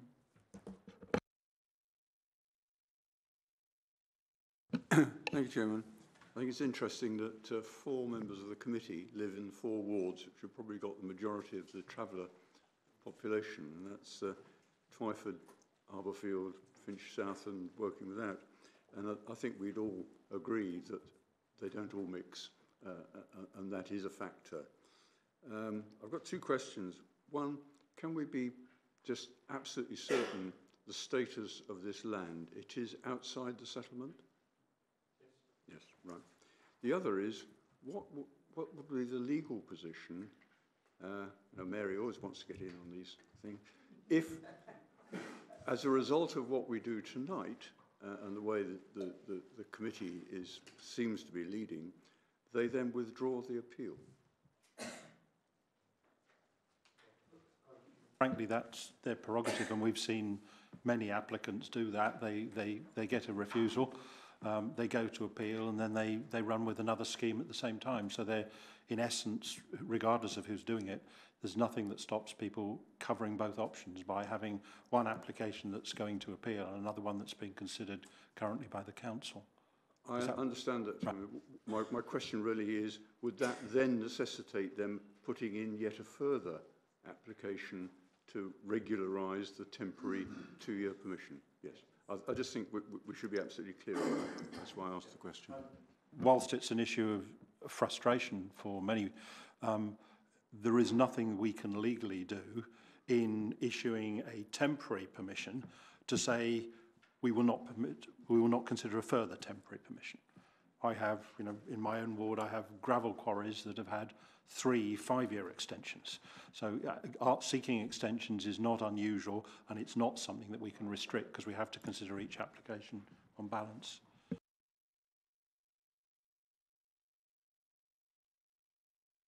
Uh, Stephen, you want? Briefly, uh, Chair, I, I know that we, because we're not actually determining a planning application, we can't put conditions on, we can't even put an informative on, but maybe this is the moment to say that the logic, just to emphasise, it's clear in the report, that the logic of a two-year uh, extension is to give time for alternative sites to be found. I think that's quite important to say that. Yes, I can't add any new points because they've been more than adequately covered by everybody, and I agree with more. Uh, I think it's uh, rather unfortunate that it keeps coming back every two years, uh, and, and we're basically not given much of a choice. We can only approve it effectively, uh, and we have every reason to assume that it'll be back in two years asking for another one uh, without resolution. Uh, so our hands are tied. I think we're going to have to agree with it. But I would uh, agree with the latest point uh, made the other side of the room, where with two years this time, is there any way that we can get uh, from both the applicant and our own officers uh, a fairly intense effort to find almost anything that matches and meets and is properly checked so that there's a, a proper evaluation before what is almost certainly be yet another two-year application. In the coming up two years? Well, um, it, it's not for us to seek sites for private individuals. They're free to make whatever attempts they can to seek a site. But as a council, in our local plan update, which will be, the draft of which will be published shortly, we are, uh, obviously, there's a call for sites, for suitable sites to be considered, and that's something that may well happen further down the line. The council is in a position to increase the number of sites it currently has beyond the current two. Uh, but for reasons already well rehearsed and stated, most people choose not to have a gypsy or traveller site on their doorstep. And so it's, it's always a challenge. It's always a challenge. Years, we might have a possible I, I'm afraid I'm, I, I'm not a clairvoyant. Right, do any other members have any key points to make on this? Uh, do any members wish to put forward an alternative resolution? Right, in that case, members, I would ask whether you uh, would in indicate whether you would have supported application 192128 for a two-year extension at this site. Could you please indicate? And that is unanimously carried. So the choice is now the applicants whether they run both the appeal and have a two-year extension or whether they drop the appeal and run with the two-year extension. But either way, I would just remind the applicants that this is not a permanent permission and that we expect you to be looking, continue to try and strive to find another site in that period. Thank you, members. We now move on to the last application because the Crossfield application is withdrawn. And that is um, Sorbus House on the uh, Mulberry Business Park off uh, Molly Millars Lane.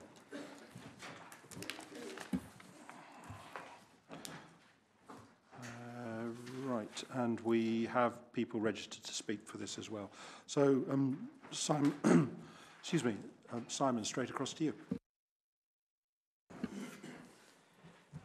Thank you, Chair. The application is for the erection of a four-storey residential flat building comprising uh, 38 units, or up to 38 units, six one-bedroom, 32 two-bedrooms, 59 car spaces surrounding the perimeter of the site. Um, built to a height of uh, 11.3 to 14 metres in height. Um, the site is surrounded by um, several prior approval residential office, office to residential conversions undertaken under the permitted development route. Um, and that's illustrated here in the plan on the screen. It's also in the um, agenda.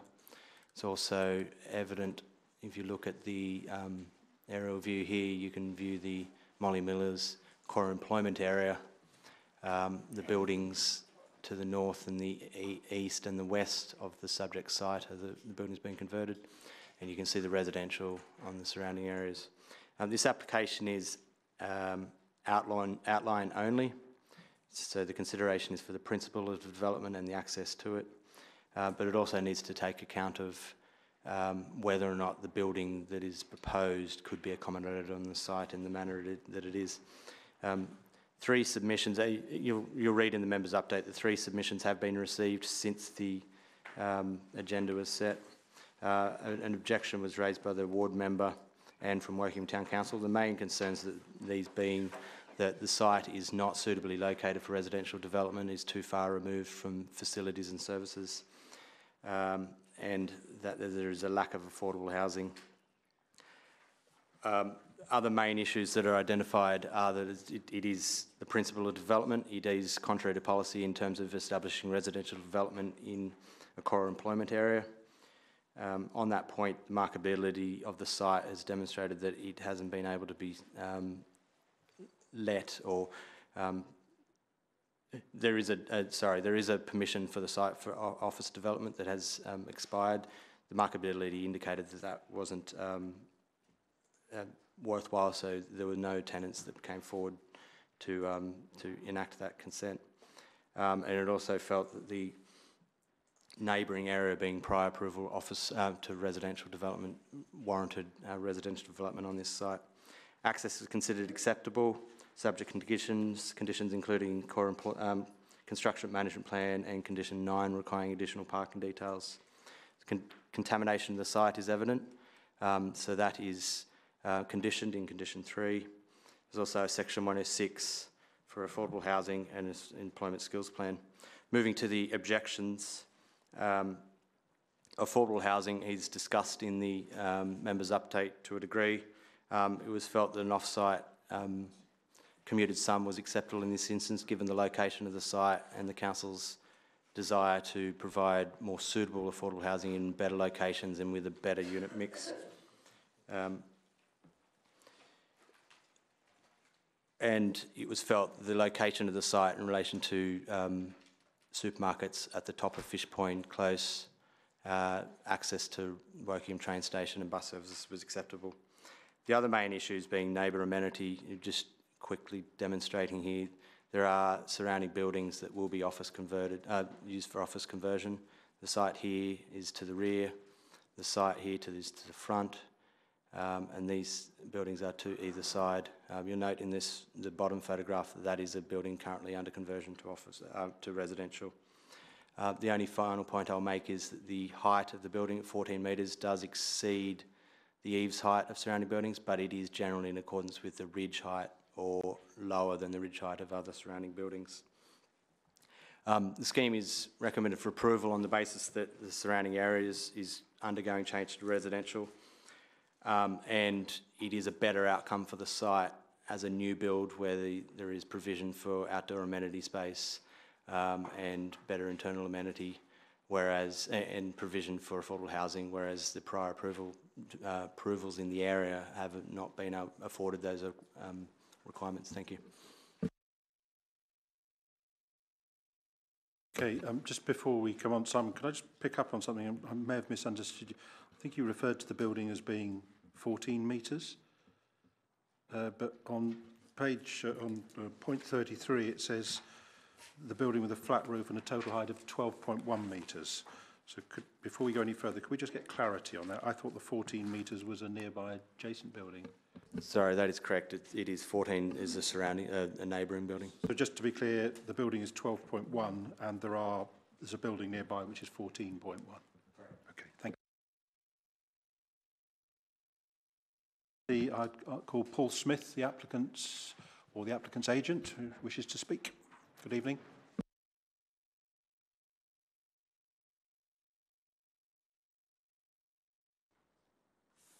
Chairman, councillors, thank you very much for the opportunity to speak on behalf of our proposal. Over the last six months, we've worked closely with planning officers to make sure that we have addressed planning issues that would arise with our application. We submitted a pre-application request for advice and have worked collaboratively with the case officer during the development of this application. For example, we have made significant changes to increase the amount of amenity space as recently as last week. The sound basis of our proposal and the efforts we have made to meet planning requirements have resulted in the case officer recommending the application for approval. As the case officer notes in his report, we are proposing to develop a site previously occupied by an office building.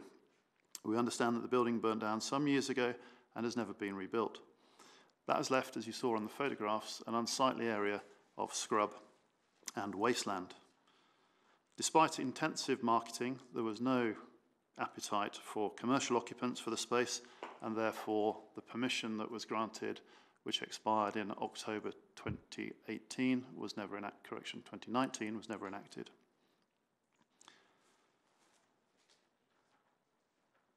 To build on this site will improve the outlook for residents of the other buildings on the Mulberry Park site, which, as the case officers mentioned, all have prior approval for conversion into residential dwellings. One, Ilex, has already started. One behind Mulberry has also already started. And Indigo House will start in March stroke April. It will also add 38 dwellings, most of them two bedroom, into an area where the majority of conversion apartments will be one bed or studios. This was, I noted, a, a an objection that the town council made about the Indigo prior application. So that addresses one of the town council's issues about diversity of size of unit. We note and take seriously the objections raised by Councillor Kerr and the local residents, and we have addressed those in a letter that we sent to you all, but I quickly wanted to summarise our responses to the various objections. Lack of amenities. Objections contend that the local infrastructure, schools, nurseries and doctors' surgeries are not adequate for new flats or residents in this location. From our research, there is a large number of nurseries within the local area, some 20 within 1.5 miles of the town centre. And there are, there are good schools and at least two large doctors' surgeries. In fact, the case officer makes the point in his report that this is a sustainable development, well served by local amenities, and should not be considered in a negative light as a result of other developments in the area. To check the idea that there was an issue with the doctors surgeries accepting new patients. I called Woosehill Medical Centre and the Wokingham Medical Centre this morning. Both confirmed that they were accepting new patient registrations and they made it clear that there appeared to be no issues with capacity of new patients at the, either practice. If this development is approved, we will be contributing to the Community Infrastructure Levy, a significant sum of money and one which the Council is obliged to spend to improve infrastructure and facilities in the local area. Turning to the Thames Valley SPA, the development is sited outside of the five kilometre buffer zone and does not trigger the requirement to contribute to SANG or SAMM within the local area. Parking.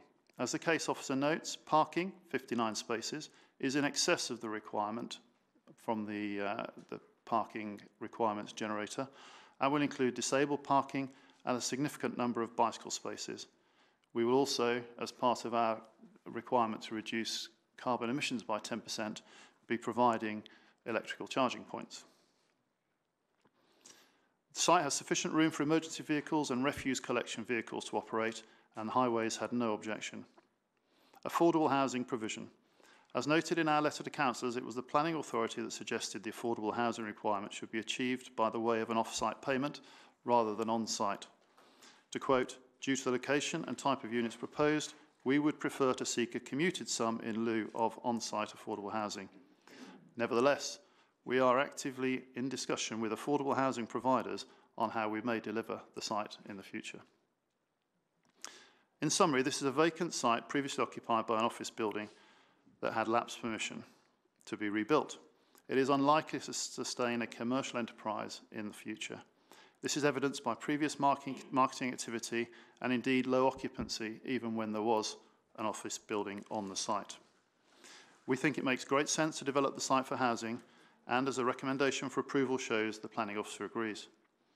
The logic is reinforced by the surrounding buildings being converted under the prior notification legislation, and we have worked hard to achieve good design and incorporate all the planning requirements and changes requested by the case officer into this sustainable proposal, and I requestfully respect, res respectfully request even that you approve it. Thank you. Um, now we have two ward members due to speak. Um, have you agreed amongst yourselves how you're going to share the time? you're having a separate slot each, but totaling five minutes, the same as the applicant has had. So, so um, if you want, if I don't know whether one of you wants three and one two, or we can tell you when two and a half minutes is passed. How would you like to do it? Okay. okay, thank you. Um, this application is obviously for a large development outside of the local plan. Um, I'm getting notification after notification of other office buildings in this core employment area, repeat that, core employment area, converted into residential units, and this is obviously due to permitted development rights. There's nothing we can do to stop this due to the law. Um, the Molly Millers trading state in the very near future is set to no longer be a core employment area, the rate of these conversions. This particular application, though, is not permitted development because of the office having burnt down. It's a new build. Therefore, unlike the other applications, we can actually do something about this one. You have a choice tonight, a choice to side with the developer or to do something positive for the residents of Wokingham. What I can say positive about this application is, yes, it is a brownfield site. Its proximity to the town centre and mainline train station are good. And I do recognise that when we're approving planning applications, these are things we should be striving for. However, what is being done about the loss of business sites? Uh, business space, where is the new land assigned for the business use going to be to replace what's being taken here? The fact that other units are being converted is not enough of a good reason to say, okay, let's go against our planning policy on this. Actually, to the contrary, I think. One of my biggest concerns in the fact is the fact that in this borough, our local amenities are already stretched to the maximum. Please remember that whilst this application is for 38 dwellings, there are hundreds of other dwellings being created in this core employment area that don't have to meet our planning requirements and they too will be wanting a piece of what's left of our amenities. I can talk from experience about how long it took to get my son into our local oversubscribed school 300 metres away. I can tell you the number of complaints I get from my residents who cannot get a doctor's appointment, work in a medical centre, Hill practice, they may be accepting more patients, they can't get an appointment. We cannot cope with the housing quota we have with the amenities we have, let alone if we approve these additional properties. And what about the amenity space for the children? talking Leslie Sears playing field, you can't actually access it from Fish Ponds Lane and people are not going to walk around to use that. That's more cars on the road. There's nothing in the vicinity. I'm not happy about the um, affordable housing. Um, it's unacceptable that we're just going to, they're going to lump us some of money at the council. We need affordable housing all over the borough, and we need to stop letting developers pass the buck. You may have noticed the lack of comments from members of the community. Please don't let this be a sign of disinterest. Yes, the consultation process was done correctly and 144 neighbours received notification, but just properties 2 to 10 Reeves Way are the only habited residential properties that received that. The rest were offices or offices being converted that don't actually have people living in them. So that is the reason for that. To sum up, the officer notes on this item states, It is noted that this site is located within a core employment area where the level of facilities and services is limited. However, the site retains a suitable level of sustainability to services and facilities in surrounding areas. On the one hand, we're being told that there are issues with sustainability, and on the other hand, we're being told that it's acceptable. As a member of this community, I'm telling you it's really not. Thank you. And uh, Councillor Diane King.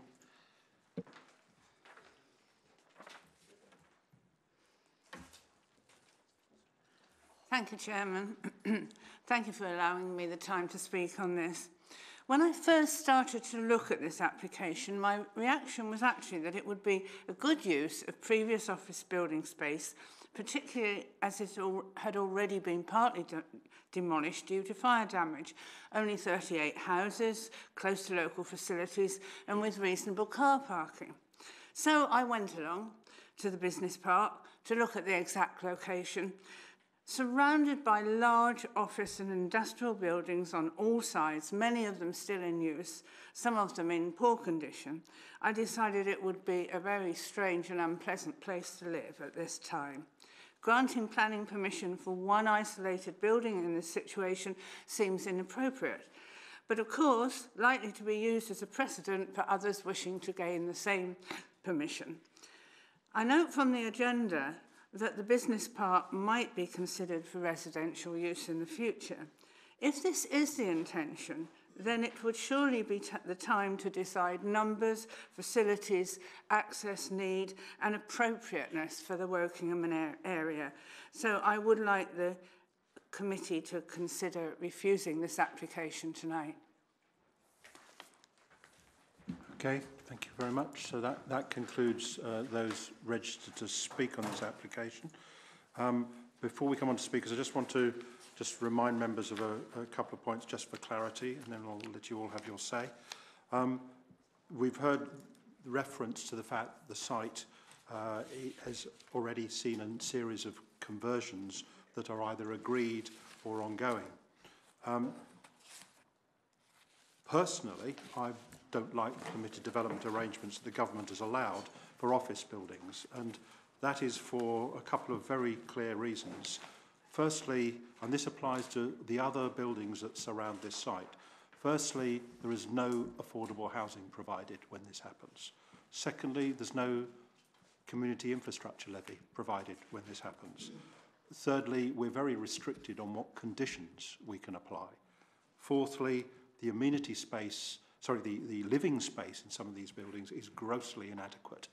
Uh, and finally, the amenity space and parking are normally inadequate as well. So uh, when considering this, do, do please bear in mind that this type of building will probably be of a higher quality for occupants than those buildings that are already in the process of being converted around it. But of course, you must make your own assessment on that. So we're going to start with Carl. Thank you. Um, uh, I've got a few questions. Uh, they're all around affordable housing. Uh, you won't be surprised to hear. Um, this is an outline application, so it says the principle, it's the principle of development and access only. So does that include affordable housing considerations or not? I.e., will these come forward again in the reserve matters? I'll, I'll provide some clarity on sure. this. I, I've looked into this because I was quite surprised hmm. that a site that is quite close to the town centre was not providing affordable housing. But it's been confirmed that this was requested by the council, that it should be taken in the form of an off-site uh, contribution. However, if this application was approved, uh, I believe it will be in the council's interest to perhaps open further discussions with the applicant to see whether that could be reviewed. But that is not something we're deciding tonight. Oh, yeah, of course, okay. Um, uh, my next question was, uh, you've kind of half answered that really, but um, I'd, I'd like an explanation why the off-site commuted sum uh, for affordable housing is acceptable. The National Planning Policy Framework says that commuted sums should be robustly justified, and I, I, I don't see anything in here that robustly justifies that. Um, uh, and I'm, I'm going to ask this question. I think we know the answer. I think all of us, despite the fact that the GPDO regulations, Class O, uh, residential from office, I, I think all of us hate this idea, um, uh, irrelevant of our political positions. Um, but how many affordable units are being built in those conversions that are taking place around the site? I think you've already said it's zero. There's none, none at all.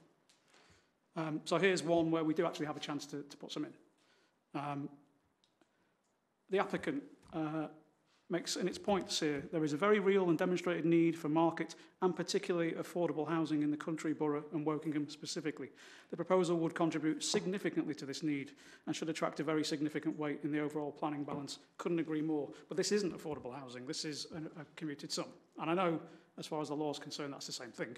Um, but in terms of how we use it, I don't think this council's been using that money uh, in, a, in a great way. And I think here we have a chance to have 11 uh, flats. And that was going to be my, you know, I was thinking about what I might say tonight, and, and that's one of the things. And then this letter arrived from the applicant yesterday, which basically says that it was the council's decision, and that actually the applicant is basically saying they were happy with the, the idea of affordable housing, it would appear. Um, and we chose to, to kind of say, no, give us the cash instead. I, I, I just think that's a, a mistake. Um, you know, Carl, I referred to the possibility of reviewing that. My, my question then would be, how do we make that happen from here? Is there a way that it can be done by you know, putting something in this application that we can approve? I, I think my suggestion would be that an informative is added uh, that would encourage the council and the applicant to consider whether affordable housing could be included within the scheme as opposed to be provided through an off-site contribution. But I don't, we, as I always say at the start of these, it's not our role to redesign these applications, so we can't do that. But I think an informative would, would perhaps uh, indicate how the committee generally views about this. Um, okay. I so the I'm best not, we can do I'm not, I hope can... I'm not thinking, uh, putting yeah. views that are not represented by other members of the committee. Yeah. So we can gently suggest it via informative, but that's about the limit of what we could actually do. Okay, fine, thanks. Um, yeah, I think that's all, all I've got to say on that for now. Thanks. Thank you, Chair. My concerns focus on two broad matters. First, design and amenity issues in the proposal, and second, amenities, access to facilities and services more generally. The proposal for one very large block raises many issues in my mind, including but not limited to a residential density that we're told is significantly greater than for the nearby office buildings already under conversion or with extant permission, a greater bulk than surrounding buildings, documented concerns relating to overlooking to the south, the north, and the west, and a design that includes little or no soft landscaping to separate the car parking spaces from the roadway, and very little soft landscaping within the site as a whole. In summary, I consider this application in its present form to represent overdevelopment of the site. If there are members who agree with me, then I would recommend refusal, which would not preclude the applicants from submitting a revised proposal that could attempt to address issues such as those that I've mentioned. Moving on to amenities, access to facilities and services.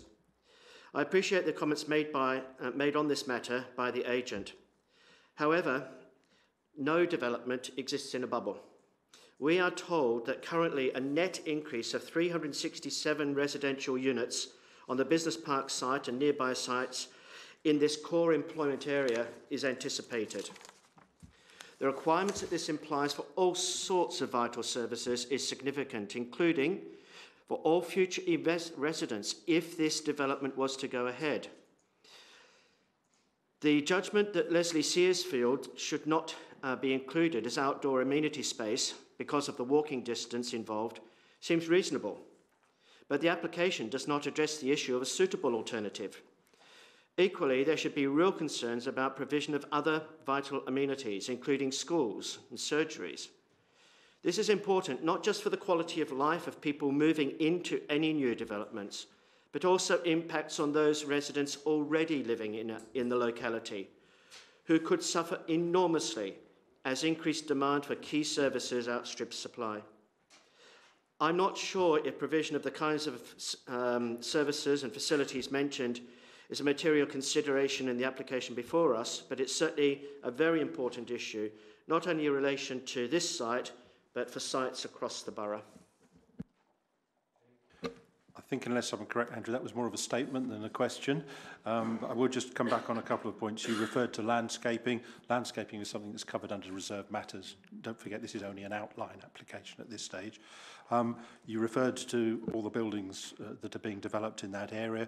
Obviously, as I've already mentioned, we don't see the benefit, uh, nor do the residents who are going to be living in them in the future. They don't see any contribution from the developers of those units towards infrastructure. Uh, the only development towards the inf uh, infrastructure in that area would be coming from this particular scheme alone, because the other schemes that immediately surround it have been already agreed under permitted development. Um, so the, the, the CIL payments are not forthcoming from those, but would be forthcoming for these. So in essence, as I think you know, we have the second highest level of CIL contributions in the country, and uh, therefore you could argue that this development is actually providing, providing some facilities that is not being provided by other developers in the area. But I take your point. Um, Stephen, next, I think. Thank, thank you very much, Chairman. Um, now, there is an argument, um, it's not one I necessarily subscribe to, but there is an argument that um, we uh, in this council are, are confronted with a really difficult task of trying to find lots of new housing, um, which have been imposed upon us. Um, and this at least makes a contribution to that. However, there is also a very compelling argument, which I think is rather stronger, that this is the loss of a core employment site. And to lose that permanently, which is what we would be doing with this, is, um, I, I think, highly questionable.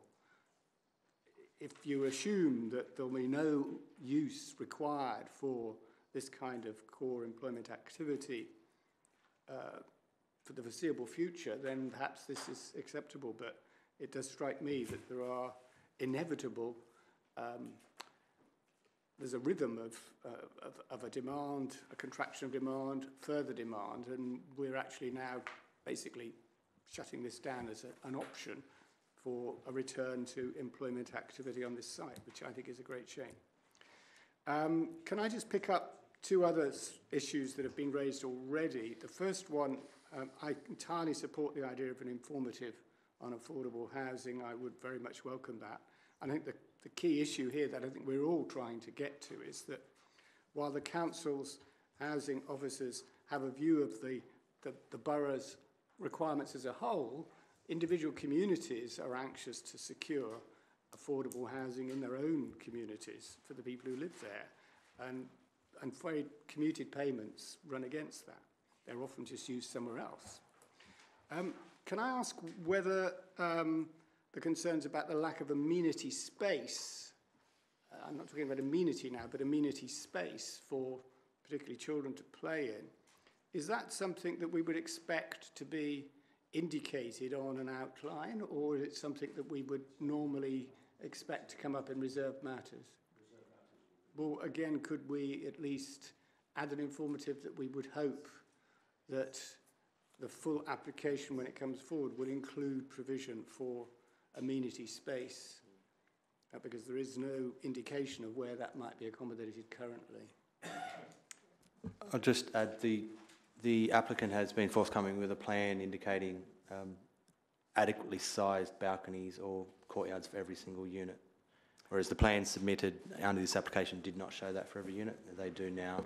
And that's indicative of a development that could that, be achieved on That is something we're not just, it's not supposed to be covered today anyway. No, it's no, something under no. the reserved But I- matters. I- so, it's so not- to move in the right direction, presumably. Well, well, but perhaps it is, but I mean, I'm not entirely sure um, balconies on high buildings are ex- entirely ideal uh, place for children to be playing. Um, so I'd still like the informative to go. I'm not sure quite what level of uh, occupancy by young children is, is normal in flats, but I, I have no idea on that. Um, I would just also draw attention that the you, made reference, I think, to the um, the loss of employment, key employment areas. Um, I, I'm afraid I've not been able to find it in here, but I'm sure when I originally read this, there was an indication of some 80,000, uh, and I'm afraid I don't know whether it was square metres, probably square metres of office space in, in, the, uh, in the borough that was unoccupied or undeveloped at this stage. Sorry? Sorry? Paragraph 16. Thank you for that. Let's refer back to that. Yeah, okay. It, said, it says, um, as of October 19, there's a high vacancy rate of office accommodation of various sizes in Woking with total 29 offices and 84,000 square feet of floor space.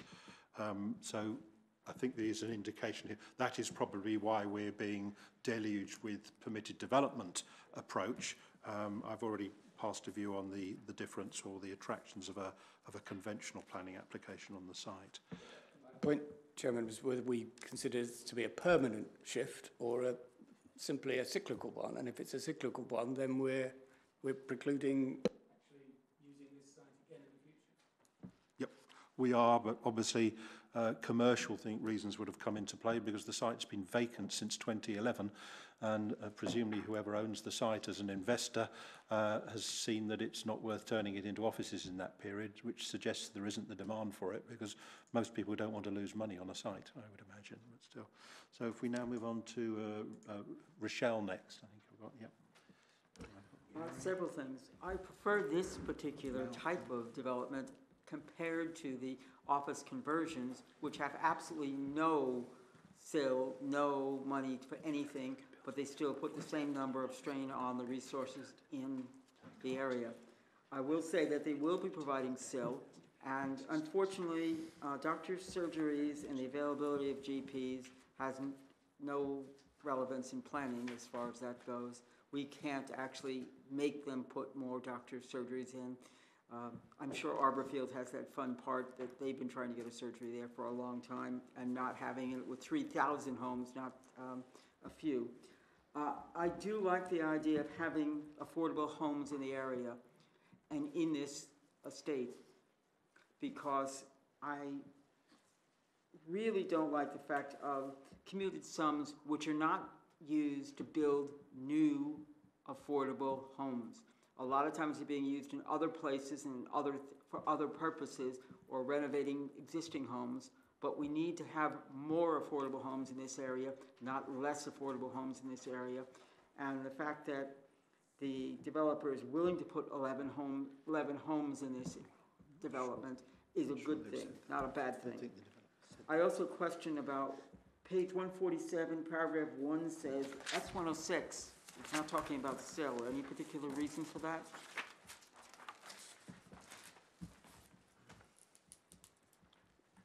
That will probably be other um, legal agreement, Mary, would it? The, the, the on bottom of uh, bottom of page 147, there's a reference to 106 agreements. Um, yeah, that's the affordable housing, is it? Yes. Yeah, okay. Okay. Because Uh, that's not covered under the CIL. At this point, there are nine existing uh, conversions in this area, and this one is actually a much better conversion if we have to have one. If we have to have a conversion, it's much better to have an application where we can actually get CIL and get contributions to, to make it decent for the re- existing residents and for the new residents, as opposed to the other idea of changing the offices into flats, little rabbit hole, little rabbit hutches, and it's not the best thing in the world. Um, honestly, core employment doesn't seem to be wanted here. There's 25% vacancy. Uh, if you really wanted it, there'd be a 5% vacancy or 2% vacancy. Uh, there seems to be something going on here that this is being converted. If you look on Molly Millars Lane, there's an awful lot of flats that have come up in the last few years. And all of the buildings that used to be employment are not there anymore. Maybe they want to go to different places for employment, not here. I don't know. Um, it's more statements than actually questions at this point, unfortunately. Sorry. you seem to have a few of them today. And I do agree that we should have an informative, definitely, about the affordable homes. I'm sorry, but I don't like the idea of asking, telling them we don't want them. We need them. Thank you, Chairman. I endorse your, your comments at the beginning about uh, the permitted development sites. So we're left with those and potentially this site. Uh, and on top of the immediate amenity space and play area, it does strike me, and it always struck me, even when it was a, a total employment area, that the lack of permeability onto open space uh, was, evident where this site we're talking about is really quite close to Leslie Se Sears Field, to Victory Field, to Blagrove Lane. Uh, and I don't know whether there is a possibility, uh, as we go towards the uh, reserve matters, on behalf of all these sites, that there could be some pedestrian permeability to open space for exercise, for getting to a green area without having to get into a car, uh, and whether that could I don't know, is that something we could put in an informative from this? As you know, we are in the borough looking at greenways, and some of those have already been installed to provide connectivity between areas, um, uh, which allows people to, to, to travel between areas without going on the road, so through cycling and walking. Um, we could certainly, you know, we could put that in as an informative as well to provide guidance to the planning authority and the applicant as to our preferred thinking on this. Yeah, uh, I, I think greenways are probably a long way off in terms of what we're talking about here, Chairman. What we're really talking about is to the south of the site, uh, you, you've got a walled employment area. Can we get a gap in the wall, to put it simply.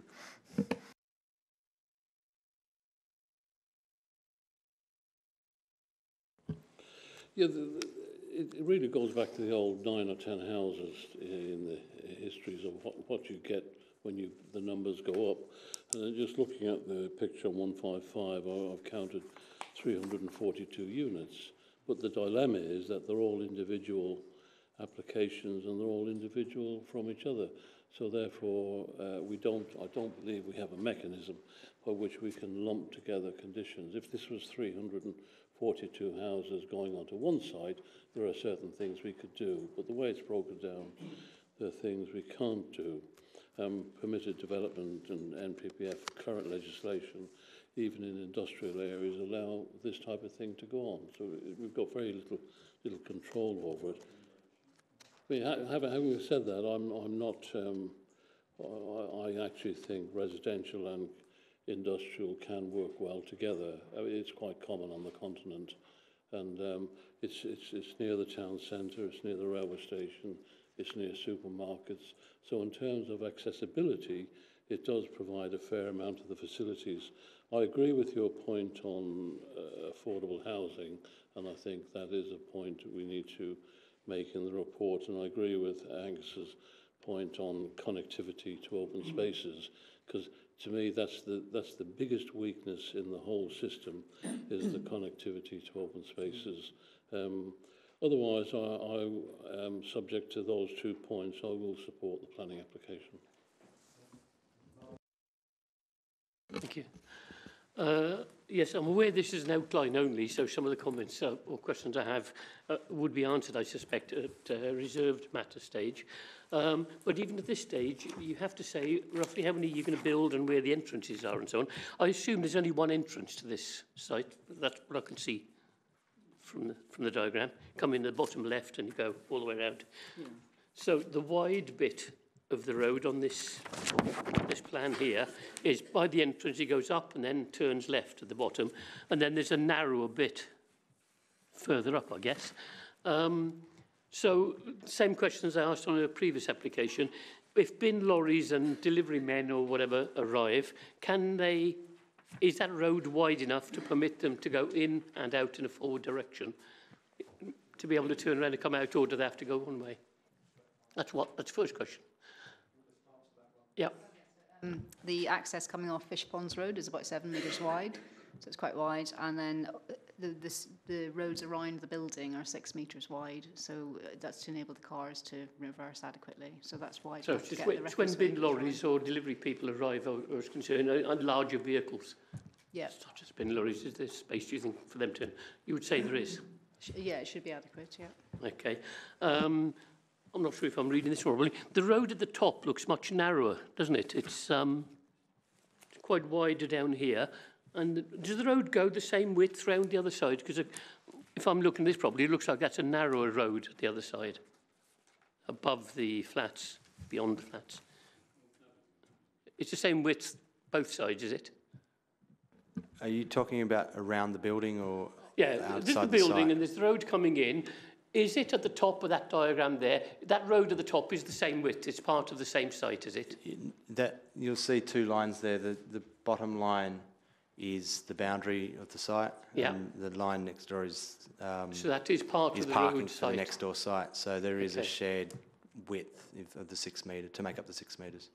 Six metres wide. Six metres between the two parking spaces, but it is across two sites. Yeah. Um, it's a shared surface, which means that it's pedestrians and, and vehicles, but presumably they have to put their rubbish out somewhere for it to be collected. So does that mean that shared surface is going to have bins or recycling boxes on it, as well as people walking, as well as vehicles, which...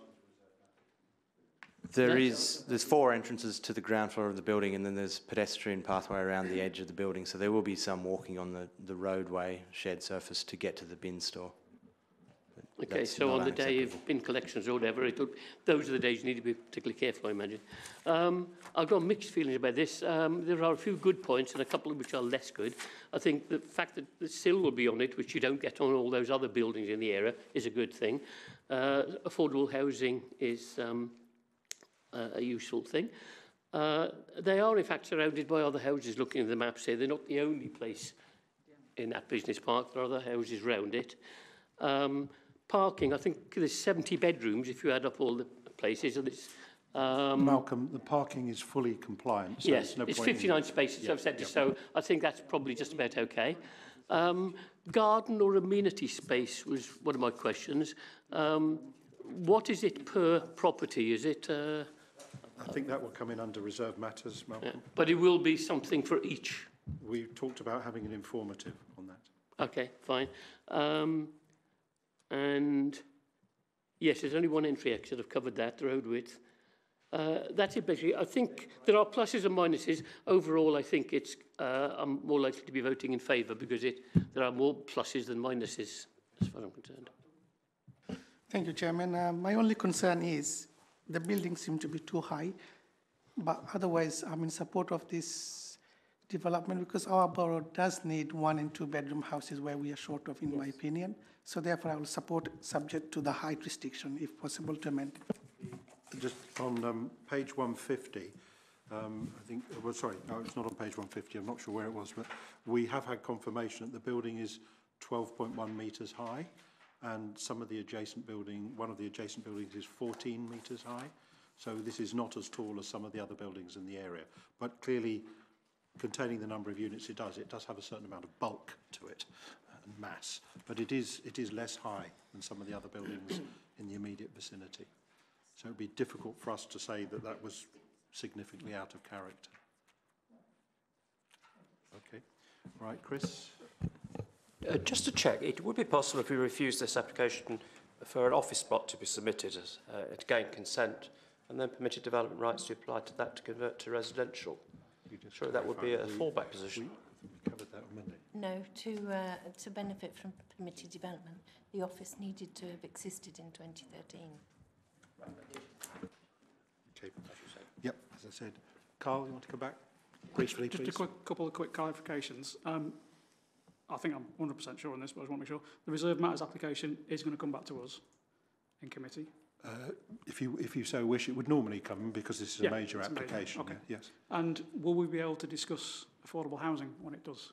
We're not going to have ruled ourselves out by agreeing this one, Uh, well, because I've been bitten by that before. Yep. Well, Mary, could you clarify on that? Um, the, the legal agreement is for now, for the outline. So it is a bit set in stone. Um, you'd have very limited um, grounds to change it once you've decided what you want today, if you're, if you're planning to approve. Yeah. Hmm. Okay.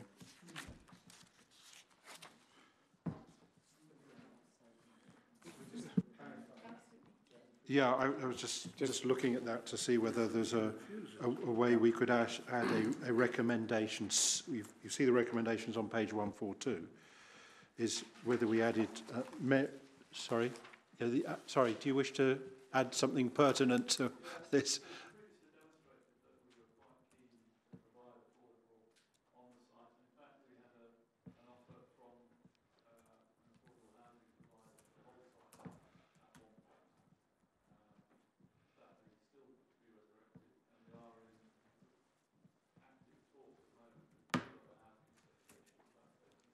Okay.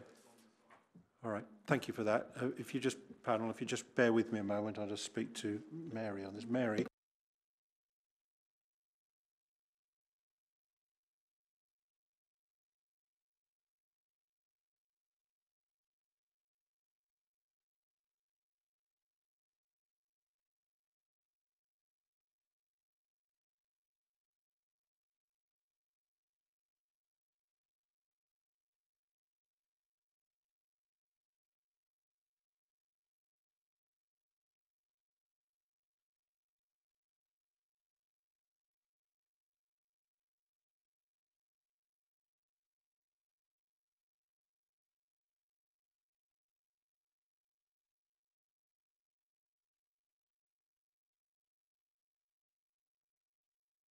Okay, uh, d- I think we might have a way forward. We, we could, we, we could suggest, actually, in fact, you, you put that quite succinctly. Would you just repeat what you said if you can remember? Um, you can have a resolution, if you're minded to approve, that the section 10 Section 106 for affordable housing provides the affordable housing on site.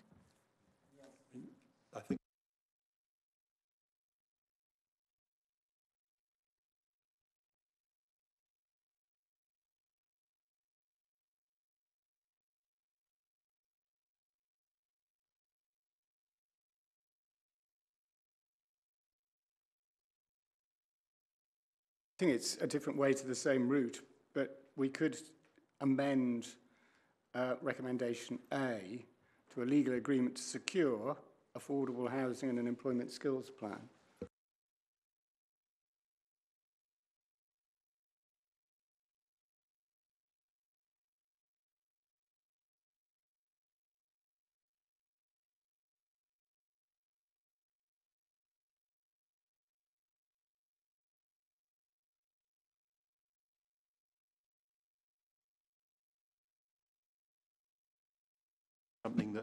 Actually addresses this. Yeah. Yes, yeah, yeah.